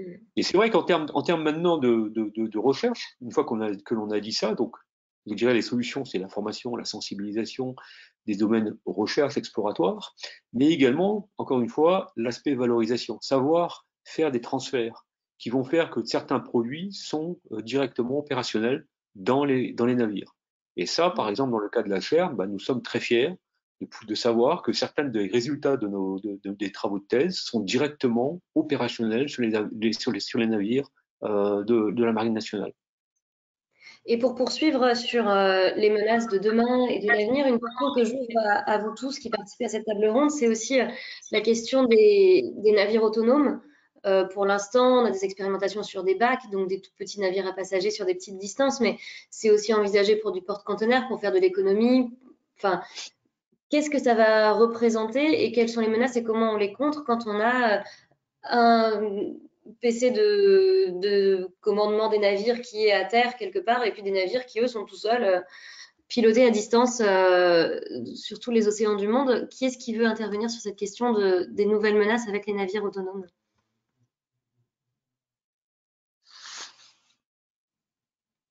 Je, veux bien en parler tout ce que l'homme a fait, l'homme peut le défaire quasiment. Donc euh, aujourd'hui, ça va être un nouvel objet. Euh, et je pense que euh, l'effervescence de réussir à faire en sorte que ça marche ne doit pas masquer euh, des enjeux de sécurité majeurs qui sont connus. C'est un peu comme quand le Wi-Fi est sorti, si vous voulez il n'y avait pas de crypto. Après, on a mis du web euh, tout cassé, tout pourri. Euh. Après, on a mis du, WPA. Du... Ah ouais, tiens, finalement, c'est bon. Il y en a marre de réinventer la roue sur ces problématiques de cybersécurité, de sécurité. Et donc, je souhaite que ce type d'objet, comme d'autres, soit livré aux mains des hackers, des bug bounty, des certifications, des reverse de l'ANSI et de que ça tienne. Enfin, c'est pas un appel. Euh. Mais faut, faut aujourd'hui, en 2020, et j'ai pas d'infos sur ces. Je serais très content de mettre la main sur un de ce, ce genre de bateau, euh, mais il faut que ce soit collectif et vraiment, vraiment s'intéresser au sujet parce que c'est des vrais enjeux majeurs. Je, je rejoins. Euh... Hop, pardon. Allez-y, Patrick. En complément, simplement, il faut savoir qu'il y a un projet européen euh, sur l'autonomous ship hein, précisément. Les, Norvégiens étant, puisque c'est piloté, par Kongsberg, les Norvégiens ayant quand même une, longueur d'avance sur euh, les méridionaux, on va dire, parce que le, leur terrain de jeu, c'est les fjords. Et ce sont des mers calmes qui se prêtent bien aux traversiers, y compris d'ailleurs avec euh, des, ce qui est un problème aussi de régulation, c'est d'avoir des gens donc où la vie humaine est en jeu et dépend de l'autonomie décisionnelle qui est implémentée dans les bateaux. Et il y a évidemment un vrai sujet de, cybersécurité. Euh, comment on décide si la connexion est rompue avec un terre? C'est d'ailleurs la même problématique que pour les drones, les drones de surface, les drones sous-marins ou les drones aériens. bah, il faut qu'il y ait une capacité de décider et, l'intelligence artificielle est d'un apport tout à fait important là-dedans. C'est encore des sujets qui sont nouveaux en, exploration aujourd'hui, quoi. Mais, mais l'Europe du Nord là, a quelques, quelques encablures d'avance. Mm. Alors, ce que je peux compléter aussi par rapport à ce qu'a dit Patrick, c'est effectivement, on est sur des, thématiques liées également à, tout ce qui concerne les drones. On s'aperçoit qu'on a besoin effectivement, dans de nombreux cas, euh, de, de, de, ces dispositifs, ne serait-ce que pour avoir des informations sur le contexte, sur l'environnement dans lequel on est. Et là, je pense en particulier à des travaux de thèse euh, d'un des officiers de, la chaire, où il va s'intéresser à ce qu'on appelle la situation awareness, et on va s'intéresser en particulier à tout ce qui concerne, ben, je dirais, la décision distribuée, comment on est capable de reconstituer ce qu'on appelle un état global pour, pour pouvoir prendre une décision au futur, au final. Et c'est vrai que les drones sont là. C'est de toute façon, on est, on est, on est, on est, on est dans ce, contexte-là. Ils sont là pour durer. Ils ont des, certainement des apports non négligeables, on, on le sait. Euh, mais également, euh, on, peut difficilement imaginer euh, les, les, laisser voguer euh, dans un port n'importe comment euh, et surtout être accable euh, depuis un, depuis un, un salon d'un pirate. C'est pas, pas envisageable. Et là, je rejoins entièrement ce que, ce que Guillaume a indiqué tout à l'heure. Est-ce que, avant de passer la main aux questions des, participants, est-ce que euh, Philippe Voltaire, vous voulez conclure sur cette question? Oui, Lucie, vous m'entendez? Oui, je vous entends. Juste au risque de contredire un tout petit peu euh, ce qu'a dit Patrick, c'est vrai qu'il y a une avance euh, des pays nordiques sur, sur cette affaire du navire autonome. Mais Cocorico, regardez ce qu'a fait l'entreprise Siol et très récemment. Donc, je ne vais pas épiloguer, mais jeter un coup d'œil parce que ça a quand même été abondamment documenté par la presse c'est tout récent, donc euh, Google vous aidera facilement à trouver. Euh, on fait des choses, on fait des choses, on progresse bien. Voilà, mm. avec, euh, avec un écosystème de partenaires cyber qui, qui, tient bien la route. Et c'est très, c'est très enrichissant pour tout le monde. Donc on progresse. et donc évidemment, euh, c'est pas des nouvelles menaces, mais ce sont des menaces qui là deviennent encore plus prégnantes pour un où il y a Qu'est-ce qui change pour un navire pareil, c'est qu'on va faire une analyse de risque qui va être bien plus évoluée que celle qu'on peut faire pour un navire classique. Il va falloir prendre en compte des mesures, des, risques qu'on n'avait pas du tout imaginés pour un navire où quelqu'un à bord peut réagir immédiatement. Donc voilà, les process sont les mêmes, les menaces sont hélas les mêmes, mais l'analyse de risque devient autrement plus ardue. C'est tout ce que j'avais à ajouter. Merci beaucoup. Euh, ben, merci à vous quatre euh, pour vos témoignages et euh, vos interventions. On va repasser la main à Xavier qui va, lui, du coup, participer à la transmission des questions des participants. Je ne sais pas si Xavier, tu es avec nous? Oui, je, suis là. bon, on est, on est quand même toujours très en retard. Si on veut se fixer de terminer à midi et demi, donc une demi-heure, une demi-heure de retard, je pense qu'on peut, prendre deux, deux ou trois questions avec, s'il vous plaît, des, des réponses courtes des, intervenants. Euh, merci. Euh, Stéphane, euh, toi J'y vais, oui. Donc, il a été suggéré tout à l'heure de prendre des équipements souverains ou des, systèmes souverains pour pouvoir protéger, protéger les systèmes. et la question qui est posée, comment faire alors qu'aujourd'hui, l'industrie de, ces systèmes et de, de ces moyens est essentiellement russe, américaine et israélienne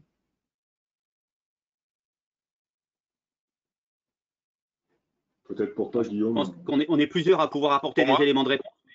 Mais il, existe en tout cas un écosystème. Il existe un écosystème français euh, dont beaucoup de produits d'ailleurs font l'objet de CSPN ou d'évaluations plus avancées. Il y a une vraie offre française. Le pôle d'excellence cyber d'ailleurs, euh, on, est un peu euh, un des chefs d'orchestre dans la, en, Bretagne. et beaucoup de sociétés sont bretonnes d'ailleurs, mais, mais on ne peut pas dire qu'il n'y a pas d'offre française. Thales et typiquement fait des produits souverains, Airbus également. Donc on a une offre. Alors maintenant, euh, en matière d'antivirus, puisqu'on l'a évoqué tout à l'heure, effectivement, euh, mais par contre, il y a une offre européenne.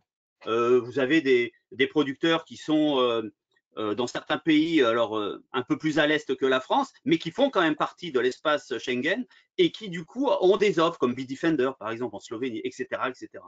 Je pense que Guillaume peut aussi compléter tout ça. Oui, alors en termes technologiques, on a une véritable offre aujourd'hui et depuis déjà en, termes de cybersécurité, que ce soit euh, par l'innovation des grands groupes euh, Airbus, Thales sur des secteurs un petit peu particuliers ou en tout cas très industriels, et que ce soit par la multitude de, PME ou la mouvance open source. Ou Alors le problème qui se passe, c'est que il y a aussi un problème d'accès au marché. Donc, si on parle de la, du domaine maritime plus spécifiquement, la maturité fait et les, les, les, enjeux économiques euh, font que on, on, peut pas venir facilement comme ça faire des expérimentations. Euh, donc c'est pas évident forcément de venir prouver qu'une sonde de détection d'intrusion, qu'une euh, passerelle, qu'une diode française ou, libre ou une start-up puisse faire des expérimentations. Pourtant ça existe. Hein. Je connais Sequoia par qui fait des expérimentations avec Marlink, qui est un gros opérateur télécom. Je connais des, mais l'accès au marché n'est pas forcément voilà. Donc c'est un écosystème. Euh, alors pour reprendre, mais on m'a dit de faire court, donc bah, je fais court, désolé, j'arrête là. Moi, je vais rebondir sur le mot écosystème pour insister lourdement dessus. On est capable en France de construire cet écosystème. C'est ce qu'expliquait tout à l'heure Bruno Binder. Il faut jouer le jeu. Et il faut arrêter de se flageller. On a les entreprises pour le faire. Effectivement, mettons-nous en ordre de bataille pour les promouvoir. Et c'est ce qu'on essaie de faire chez nous aussi, en certifiant ces équipements et en passant des partenariats avec euh, des tas d'entreprises. Donc, on a l'écosystème, il faut le faire jouer. Donc, on, va accueillir, d'ailleurs, on accueille avec à bras ouverts toutes les, les, euh, tout ce que fait Bruno Winder et tout ce qui a été décrit tout à l'heure, parce que c'est extrêmement intéressant. Donc, ne nous battons pas à la coupe, on est capable de faire. Oui, d'accord, on a une concurrence internationale qui est très présente et parce qu'elle a envahi le marché, mais on peut riposter. Il n'y a pas de souci avec des produits qui tiennent la route. Bon, je crois que j'ai posé une dernière question à moins qu'ils veuille intervenir sur ce sujet-là, mais en fait, j'avais parlé. Je, euh, Stéphane, je pense qu'il faut. Stéphane, je pense que là, il je le regrette, il faut, euh, on va arrêter les questions, euh, mais l'intervention de Philippe Vaquet était, parfaite pour passer la main ensuite à Eric Wondendon, justement, qui va présenter le, Centre national de coordination de cybersécurité maritime, qui a justement cette vocation à fédérer tout cet écosystème. Et donc, voilà, je regrette pour les nombreuses personnes qui ont posé des, questions, mais elles sont notées, euh, elles trouveront une réponse euh, dans le temps. Euh, mais maintenant, je vais passer la parole à Eric Vandenbroek pour qu'il nous parle de, du Centre Cybersécurité Maritime. bonjour, à toutes et oui, bonjour à toutes et à tous, j'espère que vous m'entendez bien. Euh, je n'ai pas une connexion, je crois, de très grande qualité, mais si vous me confirmez au moins une bonne, une bonne écoute. On vous reçoit. Bon, très bien, parfait. Je, laisserai à Xavier le, soin de, de, mettre en, ligne euh, le, les planches que j'utiliserai, mais de manière assez, assez rapide et, sommaire. Voilà, j'ai euh, partagé mon écran. Est-ce qu'il est, -ce qu'il est visible?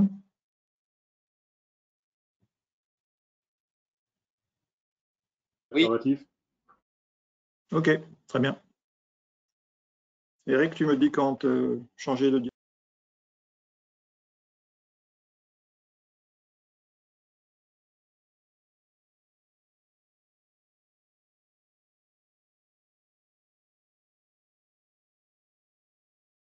Nous avons perdu Eric Vandenbroek.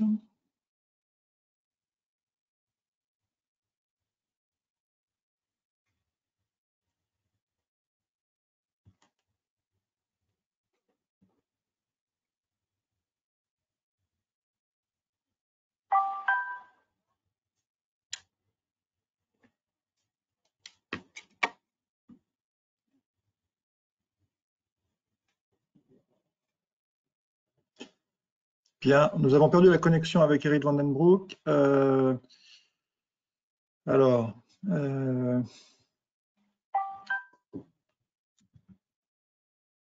je peux te proposer, euh, Xavier, pendant que tu rétablis la connexion Non, je, vais prendre. Bah, moi, je vais prendre la main en direct pour présenter le centre de, coordination du cyber pour, pour, le cyber pour le, pour le maritime. Euh,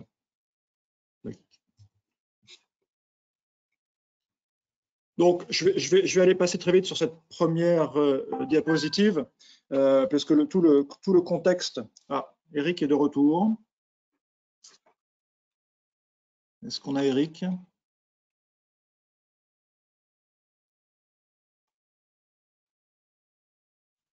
Voilà, j'ai de nouveau Eric. Je vais le refaire passer en intervenant. Il faut laisser, rendre à César ce qui est à César. Donc euh, voilà, j'aurais pu faire cette présentation, mais c'est aussi bien qu'il la fasse. Euh, ce qu'il l'a préparé. Euh, et donc voilà. Eric, tu as la parole. Tu nous entends? Oui. Est-ce que vous m'entendez? Oui, on t'entend. Bon. je, vais rester peut-être comme ça en mode audio, simplement, si vous m'entendez, c'est l'essentiel. Euh, alors, donc, je, je, vais reprendre effectivement ma présentation. Je vous prie de m'excuser pour les, problèmes techniques. Euh, alors, peut-être en deux mots, le, pourquoi de mon intervention sur, sur ce sujet de, de, France Cyber Maritime que je vais exposer euh, dans mon propos.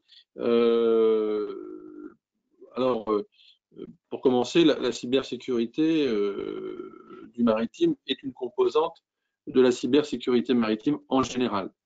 Euh, pourquoi je dis ça? C'est tout simplement parce que, comme vous le savez, il y a un historique euh, euh, sur la pointe bretonne en matière de problématiques de sécurité maritime qui a conduit à ce que le, Finistère soit d'une certaine manière contraint de s'organiser avec l'État pour, pour prévenir les risques maritimes qui ont des conséquences sur notamment l'environnement euh, inutile de, vous rappeler les catastrophes euh, qu'on a connues dans le passé.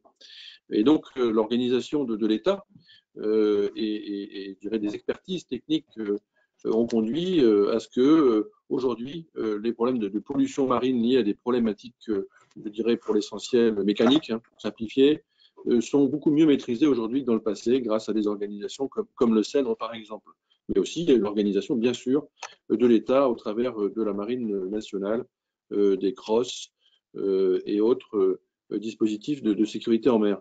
Donc la partie cyber est une évolution en quelque sorte, je dirais un risque nouveau, supplémentaire dans les problématiques de sécurité maritime.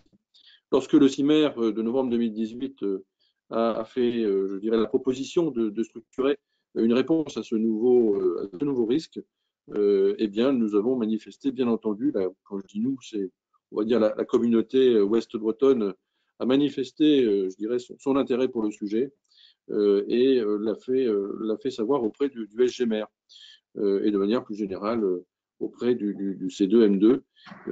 J'y reviendrai. donc, on s'est organisé assez rapidement autour de, du Mika Center, qui a été mentionné tout à l'heure, la chaire cyberdéfense navale, sur laquelle je ne reviendrai pas et qu'ils vont à, mentionner, ou encore le, le, très récent euh, euh, master euh, de cybersécurité des systèmes navals et, portuaires, ou encore de manière plus générale la grande diversité des, acteurs du maritime ou du numérique sur, sur, la place, sur la place brestoise. Ce qui a conduit en novembre 2019 à faire une proposition de préfiguration de ce que pourrait être ce centre national de coordination de la cybersécurité pour, le maritime. Euh, donc en novembre 2019, euh, le FIC euh, en janvier 2020, rencontre avec, avec l'ANSI, Guillaume Poupard, partage d'opinions, de, points de vue et convergence, je dirais, de, de regard sur la solution qu'il était, qui a, qui a été proposée de, mettre en place. Euh, dans le cadre du C2M2 et des groupes de travail que, Bruno Binder anime, eh bien, dès, janvier 2020, euh, s'est enchaîné une succession de, réunions euh, qui ont permis, je dirais, de, travailler sur ce que pouvait être euh, ce centre de coordination pour la cyber maritime. ce, qui, a mené, je dirais, nos, réflexions, nos travaux, c'est l'exigence, plusieurs exigences. C'est de répondre rapidement aux besoins des acteurs du maritime. Je ne reviendrai pas sur les motivations, elles ont été largement développé euh, dans toute la matinée, euh, d'y répondre par, euh, par des solutions techniques, par de la, par de la formation, par de la sensibilisation, par de la formation, et, donc de, de, je dirais d'aller en mode efficace, de réunir les acteurs, qu'ils soient du maritime, en tant que, je dirais, usagers du maritime ou exploitants du maritime, et les acteurs qui apportent des, solutions technologiques, de formation, de, recherche. et c'est au travers de cette, de, de, l'animation de cet ensemble de cette, de cette communauté qu'on est arrivé à la proposition de créer France Cyber Maritime, qui est de, manière très résumée affichée à l'écran, donc une association qui, qui, se propose finalement de, réunir hein, cette, cette, communauté du maritime dans sa diversité pour apporter de manière rapide les réponses attendues de, la profession. Alors, en gros, pour faire simple, cette association porte, je dirais, et, on va le voir peut-être sur la, sur la planche suivante, deux, deux, grandes fonctions, deux grandes missions. Xavier, si tu peux passer sur la planche suivante, s'il te plaît. C'est d'abord un centre, d'expertise hein, qui permet de réunir les informations, qui permet, d'apporter les, les, réponses au, secteur du maritime. je vais le, développer un peu plus loin. Et puis, c'est bien sûr d'y créer le, le, CERT ou le maritime CERT, qu'il est absolument nécessaire maintenant de, mettre en place, vu l'augmentation des, incidents cyber dans le secteur maritime. Euh, et euh, de pouvoir, dès le 1er janvier, si possible, euh, être en, capacité de, répondre à, l'exigence de l'OMI de permettre aux, industriels du maritime de reporter leurs incidents. Je ne sais pas, les planches ont l'air d'être un peu bloquées en position résumé exécutif. Je ne sais pas si il est possible de passer aux planches suivantes. Est-ce que vous m'entendez toujours bien? Dans le vide, en fait. Non, non, vous euh, Non, vous me rassurez. alors je, alors, euh, quelle, planche veux-tu, Eric? Parce que euh, effectivement, j'ai la main. je suis sur la planche numéro 7. Ah, d'accord. Donc, en fait, en fait, ce que j'ai à l'écran n'est sans doute pas ce que, tu, que la plupart des, personnes voient. tu es sur la planche 7. Eh bien, parfait. Donc, tu peux passer à la planche 10 dans ce cas-là. Euh, je suis à la numérotation. Parfait. Donc peut-être. Donne-moi les numéros de planche et, comme ça, ça, facilite. Voilà. Donc euh, c'est sur la planche 10 que je propose de développer euh, le propos, notamment sur la partie centre d'expertise et de ressources, donc qui est la, le, lieu où finalement le, la communauté du maritime et du numérique vont pouvoir, je dirais, travailler de manière la plus étroite euh, et d'apporter un certain nombre, je dirais, de, réponses, euh, que ce soit en termes d'analyse de la, menace, euh, de, solutions technologiques de, surveillance, de, formation, de sensibilisation. On l'a vu dans les propos tout à l'heure de, Guillaume de l'importance de pouvoir apporter ce soutien aux, professionnels. la, je dirais aussi un peu la, la coordination, ou je dirais un peu la sensibilisation ou la définition des objets de recherche, hein, qui sont notamment euh, instruits dans le cadre de la chaire cyberdéfense navale, mais il n'y a pas que dans ce, dans ce, je dirais dans cette équipe conjointe que, que l'on trouve des ressources. Euh, c'est la possibilité d'offrir des, solutions d'audit de, euh, aux professionnels par rapport à leur, leur système d'information, le maintien en conditions de sécurité, et bien sûr aussi la, la, la valorisation euh, des travaux de, recherche qui peuvent se transformer en activité euh, économique pour les entreprises. Euh, le, but de cette, je dirais, de cette fonction hein, de, centre d'expertise, elle est pour l'essentiel de permettre à la fois aux, professionnels du maritime d'avoir une offre de services en, face de, leurs besoins et surtout aussi de, contribuer à développer euh, la filière euh, des solutions apportées par les industriels, qui, sont un certain nombre autour de la table, euh, commencer bien sûr par ceux qui ont, témoigné tout à l'heure, hein, comme, Naval Group ou, Diatim encore, qui ont vocation à, se, à, dirais, à, proposer leur offre au plan national, européen et international. Donc il y a cette vocation de développement d'une vraie filière industrielle qui qui rayonnent au plan international. Alors, si on passe à, la planche 11, on est sur le, deuxième objet, en quelque sorte, hein, mais qui est un objet essentiel, c'est la création du, CERT, donc sectoriel, hein, maritime, et ça a été aussi évoqué tout à l'heure dans les propos introductifs, notamment par Sylvie Andro. La, je dirais la, spécificité du maritime, elles ont été un petit peu présentées tout à l'heure par les uns et par les autres, mérite effectivement qu'il y ait un CERT euh, qui soit euh, spécialisé dans, ce domaine du maritime euh, et de pouvoir, je dirais, le, mettre en, ordre de marche très rapidement. Ce qui est proposé, ben, c'est de s'appuyer sur, bien sûr, les expertises existantes, à la fois d'acteurs publics, hein, comme, la marine ou la gendarmerie maritime, mais aussi les professionnels du secteur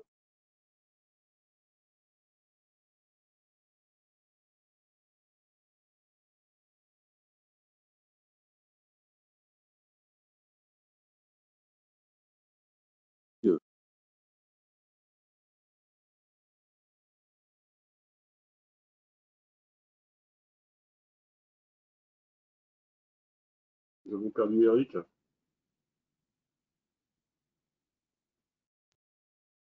Euh, vous m'entendez là à nouveau? Oui, on t'entend de nouveau. On t'a perdu pendant euh, une, petite minute, Eric. Là. Une petite minute. Hein. Vous m'avez perdu quand euh, j'étais. quand tu t'as parlé qu'on s'appuyait sur les acteurs comme la Marine nationale et les acteurs. Voilà, donc je, je, complétais en disant qu'il y avait bien sûr Marine nationale, gendarmerie maritime, mais aussi bien sûr les professionnels du numérique du secteur de la cyber qui, qui se sont exprimés hein, aussi tout à l'heure. Euh, et, le tout également en liaison avec le Mika Center, hein, qui est déjà en fonction euh, pour ce qui est de, du brigandage et, des problématiques de, piraterie, euh, mais qui fait aussi office, je dirais, un peu de, numéro vert pour, pour, le, pour le maritime. ce que je, ce que je voulais dire, c'est que également, ce, alors pour, pour compléter, donc, je viens d'évoquer ici les deux grands objets hein, de France Cyber Maritime. Euh, la, concrétisation de, cette euh, réponse, euh, qui a été élaborée par ce, groupe de travail, elle prend deux formes. elle prend d'abord l'élaboration de, statuts qui sont en passe d'être finalisés. Ils sont un peu encore en circulation en interministériel, mais on a quelque chose qui est quasi abouti. Euh, et qui, euh, qui, va nous conduire, euh, je l'espère, à déposer les statuts de cette association très rapidement. et l'autre composante importante, qui a été travaillée en parallèle également, c'est la définition des missions du, CERT maritime au travers de, du document pro forma hein, qui, décrit les missions d'un CERT, la RFC 2350, qui elle aussi a été élaborée conjointement dans le groupe de travail et qui a été élaborée en, liaison avec, euh, avec l'ANSI, euh, en liaison très, très, très étroite. Euh, voilà, donc peut-être rapidement passer sur la planche numéro 8 pour donner peut-être simplement quelques éléments de compréhension sur l'association, notamment sur sa gouvernance. on l'a imaginé autour de quatre grands collèges, hein, bien sûr l'État qui est euh, l'acteur, je dirais, un peu central euh, de, de, ce dispositif France Cyber Maritime, en étant notamment responsable des missions régaliennes autour de, de la, sécurité maritime et, donc, d'une certaine manière, je dirais, la, colonne vertébrale, notamment pour ce qui est du, CERT, hein, qui relève vraiment de, missions régaliennes de l'État. et donc trois autres collèges, un collège public plus, plus gêné, plus ouvert, qui permet euh, euh, aux établissements euh, publics de, participer, aux collectivités qui le souhaitent également, et puis deux grands collèges, on va dire industriels, les utilisateurs, hein, donc les professionnels du maritime, et enfin un collège dit solution, qui réunit plutôt les, acteurs du numérique, capables, je dirais, d'apporter effectivement une réponse aux besoins. voilà un petit peu comment se décrit, je dirais, je dirais la, cette communauté. Euh, peut-être sur la planche suivante, euh, celle qui, permet de montrer un peu le caractère fédérateur hein, de, cette démarche euh, au fil des, semaines et des mois de, travail, eh bien, les, je dirais un grand nombre d'acteurs se sont, comment dirais-je, manifestés, ont, confirmé leur engagement autour de ce concept de France Cyber Maritime, association qui finalement allie le meilleur du public et du privé, avec à la fois, encore une fois, la volonté d'être rapide, efficace, pragmatique, euh, bah, vous retrouvez en fait finalement pas mal de, ceux qui ont, se sont exprimés aujourd'hui. Hein. Euh, je ne les citerai pas tous, j'espère que vous les avez à l'écran. Euh, on a entendu LNG tout à l'heure, euh, euh, Naval Group, Mine Télécom ou École Navale au travers de la chaire cyber, le Polmer, n'en parlons pas, et Bureau Veritas ou encore Diatim. Donc cette, ce, ce, cette communauté est derrière la, création de ce centre. donc euh, on espère donc qu'il va se, créer maintenant euh, euh, très vite, dans les prochaines semaines, de façon à pouvoir prendre position au plan européen et international, que la France soit incarnée dans sa réponse aux besoins du maritime en matière de, de cybersécurité euh, et donc de pouvoir contribuer au rayonnement et, au développement de, nos filières euh, industrielles dans, le secteur de, la cyber pour le maritime. Voilà ce que je, ce que je voulais dire. Désolé pour euh, je dirais, le, chaos euh, technique euh, qui a peut-être un peu euh, comment dirais-je, interrompu mes propos. J'espère qu'ils ont été à peu près audibles toutefois. Ok, très bien. Écoute, merci Eric pour cette, présentation. Donc, je pense qu'on a, on a pu capter l'essentiel. Euh, donc, c'est véritablement une, une, initiative fédératrice et qui est une initiative nationale. Brest a fait cette proposition, mais euh, il est évident que c'est un centre national qui a vocation à accueillir eh bien, tous les acteurs euh, euh, français du maritime et tous les acteurs français de la cybersécurité qui souhaitent s'impliquer dans, le maritime. Et espérons que cette présentation est donne envie à de nombreux acteurs euh, de, euh, rejoindre cette, initiative qui est essentielle pour euh, la sécurité du, monde maritime. Voilà. Euh, je vais oui, maintenant. Excuse-moi, Xavier, et, et, et, pour, te, pour te remercier de, de, tes propos complémentaires que tu viens d'apporter. Euh, vous l'aurez compris, je l'espère, mais ça va mieux en le disant. Euh, parce que vous êtes nombreux aujourd'hui à suivre ce, ce, ce Blue Day. Euh, il est bien entendu que euh, l'association est ouverte euh, à tous les, les, les industriels et, et académiques et acteurs qui le souhaitent. L'idée, c'est vraiment effectivement de fédérer l'ensemble de la communauté nationale autour de, ce projet. Euh, et, donc, évidemment, vous êtes tous invités à, vous manifester euh, et de, votre intérêt à, rejoindre l'association France Cyber Maritime.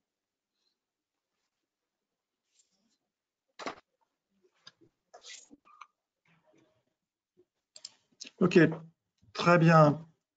Euh, je vais maintenant, euh, on arrive à, à, la fin de ce, webinaire. Euh, je vais passer la parole maintenant sans transition à M. Christian Sévère de l'ANSI, qui va avoir la difficile tâche de, de, de, conclure, hein, conclure ces, débats qui ont été extrêmement riches et, et qui, je pense, ont, intéressé nos, participants. Monsieur Sévère, je, vous laisse la parole. Merci. Bonjour, mesdames et messieurs. Je remercie en premier lieu le pôle mer Bretagne Atlantique d'avoir invité l'ANSI à conclure cette matinée. Autorité nationale en matière de sécurité du numérique, euh, nous sommes fixés comme méthode de travailler avec tous les partenaires volontaires. Euh, aucun acteur seul, à aucune échelle, ne peut prétendre épuiser le sujet de notre credo que beaucoup euh, d'entre vous commencent à connaître. Tous connectés, tous impliqués, tous responsables. Alors, credo que nous pourrions cependant résumer d'une manière triviale en écho à la thématique du jour, tous dans le même bateau. Alors, je n'apprendrai à personne que la mer est un environnement tant magnifique que dangereux. Les voies navigables, au début porteuses d'espérance, voire de fantasmes, sont depuis des liens essentiels entre les peuples et leurs économies. Les, les siècles aidant, le bon sens, l'expérience, la technologie et la réglementation ont sécurisé nos déplacements sur cet élément. En témoigne la liste des équipements de sécurité obligatoires à bord d'un navire, qui est longue et indispensable. Et si l'histoire du maritime, si dans l'histoire du maritime le numérique est finalement récent, les parallèles sont nombreux. Il est magnifique et dangereux, porteur d'espérance, voire de fantasmes, lien entre les peuples et leurs économies. Il est également source d'efficacité. Il a remplacé avec succès la sonde à main et le sextant. le numérique est devenu incontournable à la bonne gestion de la chaîne logistique d'un port, un port qui devient connecté. Mais ces innovations technologiques et les prochaines à venir ont par moments sous-estimé l'enjeu de sécurisation. C'est d'autant plus vrai pour les anciens systèmes embarqués qui avaient des durées d'usage longues, qui ont manqué d'anticipation. Alors, conception, la cybersécurité relevait de la science-fiction. Et aussi à l'heure de l'accélération de la numérisation de notre société, de l'augmentation de notre surface d'attaque, ne reproduisons pas ces erreurs, cloisonnons les systèmes sensibles, sécurisons les innovations. Alors un mot sur le contexte géopolitique. Il évolue et l'on voit les États intégrer de plus en plus le cyber à leur stratégie comme outil régalien d'influence, de renseignement, voire de domination. Alors pour paraphraser notre manifeste, la maîtrise du cyberespace devient l'une des clés de puissance dans le monde à venir. Il existe un risque réel d'instabilité de l'espace numérique si les États ne prennent pas garde en adoptant des comportements responsables, ils pourraient très rapidement réduire à néant le bienfait de la transformation numérique en utilisant le cyberespace comme un véritable champ de bataille. Euh, et face à ces difficultés pour les États de stopper les, criminels, certains ont cette idée dangereuse de laisser les, les victimes se faire justice par elles-mêmes, ce qui ferait qu'ajouter du chaos au chaos. C'est pas souhaitable au-delà euh, des États qui cherchent une forme de supériorité, si ce n'est de suprématie, dans le cyberespace, de grands acteurs privés, que l'on nomme parfois nos amis, ne cachent pas non plus leur ambition hégémonique. Alors à ce sombre tableau s'ajoutent les réseaux criminels qui, comme le reste de la société, ont engagé, parfois même en, précurseur, leur transformation numérique. Euh, en témoignent les attaques par rançongiciel, ont constitué cette année encore la menace informatique la plus préoccupante, de plus en plus ciblées vers les entreprises et les organisations publiques. Elles ont pu être dirigées vers des systèmes d'information critiques, un constat qui invite l'ANSI et ses partenaires à reconsidérer les frontières jusqu'alors délimitées entre cybercriminalité et sécurité nationale.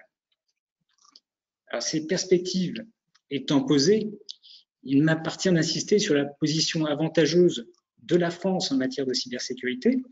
Nous avons une base solide, un niveau de l'expertise technique euh, grâce à la, culture scientifique, au niveau de la compréhension des enjeux cyber en regardant au-delà des enjeux techniques, une administration qui s'est structurée très tôt euh, sur les questions cyber dès 2008 en y mettant les moyens et avec une gouvernance claire, euh, un véritable volontarisme. Alors, quelques exemples. Nous sommes le premier pays à utiliser le levier réglementaire pour garantir la sécurité des infrastructures critiques, la loi de programmation militaire, ce en quoi nous avons été suivis par l'Union européenne avec la directive Nice et d'autres pays.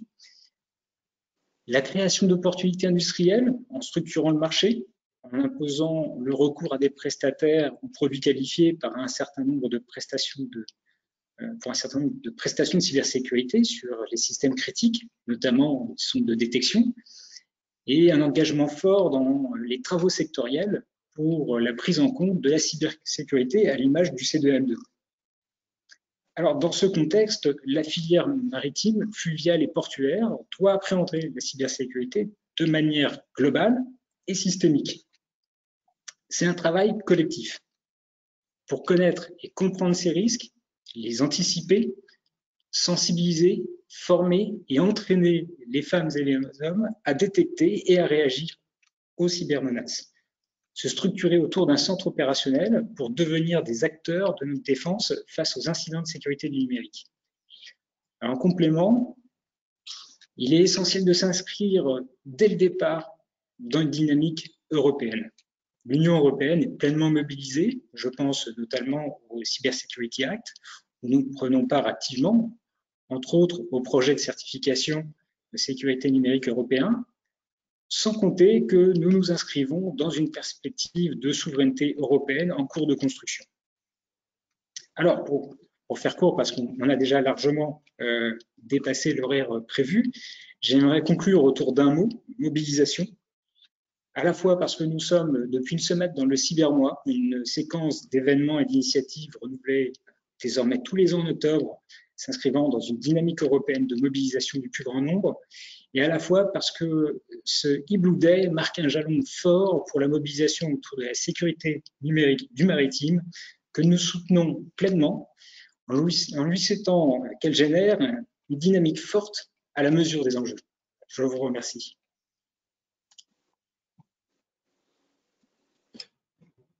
Bien, merci Monsieur Sévère pour ces, euh, ces mots de, conclusion et je retiens effectivement votre, votre mot de mobilisation. Eh bien, euh, soyez assurés que l'ensemble des participants à, ce, Blue Day sont mobilisés et euh, on espère pouvoir accueillir d'autres acteurs, d'autres opérateurs du maritime et acteurs de la cybersécurité pour se mobiliser et pour que l'équipe France de la cybersécurité maritime eh soit au grand complet. Euh, je vais conclure juste en, remerciant très vivement nos intervenants qui euh, euh, ont pris du temps pour préparer cette, cet événement. Remercier aussi Lucie Letredo pour pour son animation et remercier les participants pour leur, attention. On, avait plus de 115 participants. Euh, voilà. Euh, je rappelle que euh, le replay du webinaire sera disponible sur notre site internet, sur notre espace connecté qui s'appelle le Poulpe.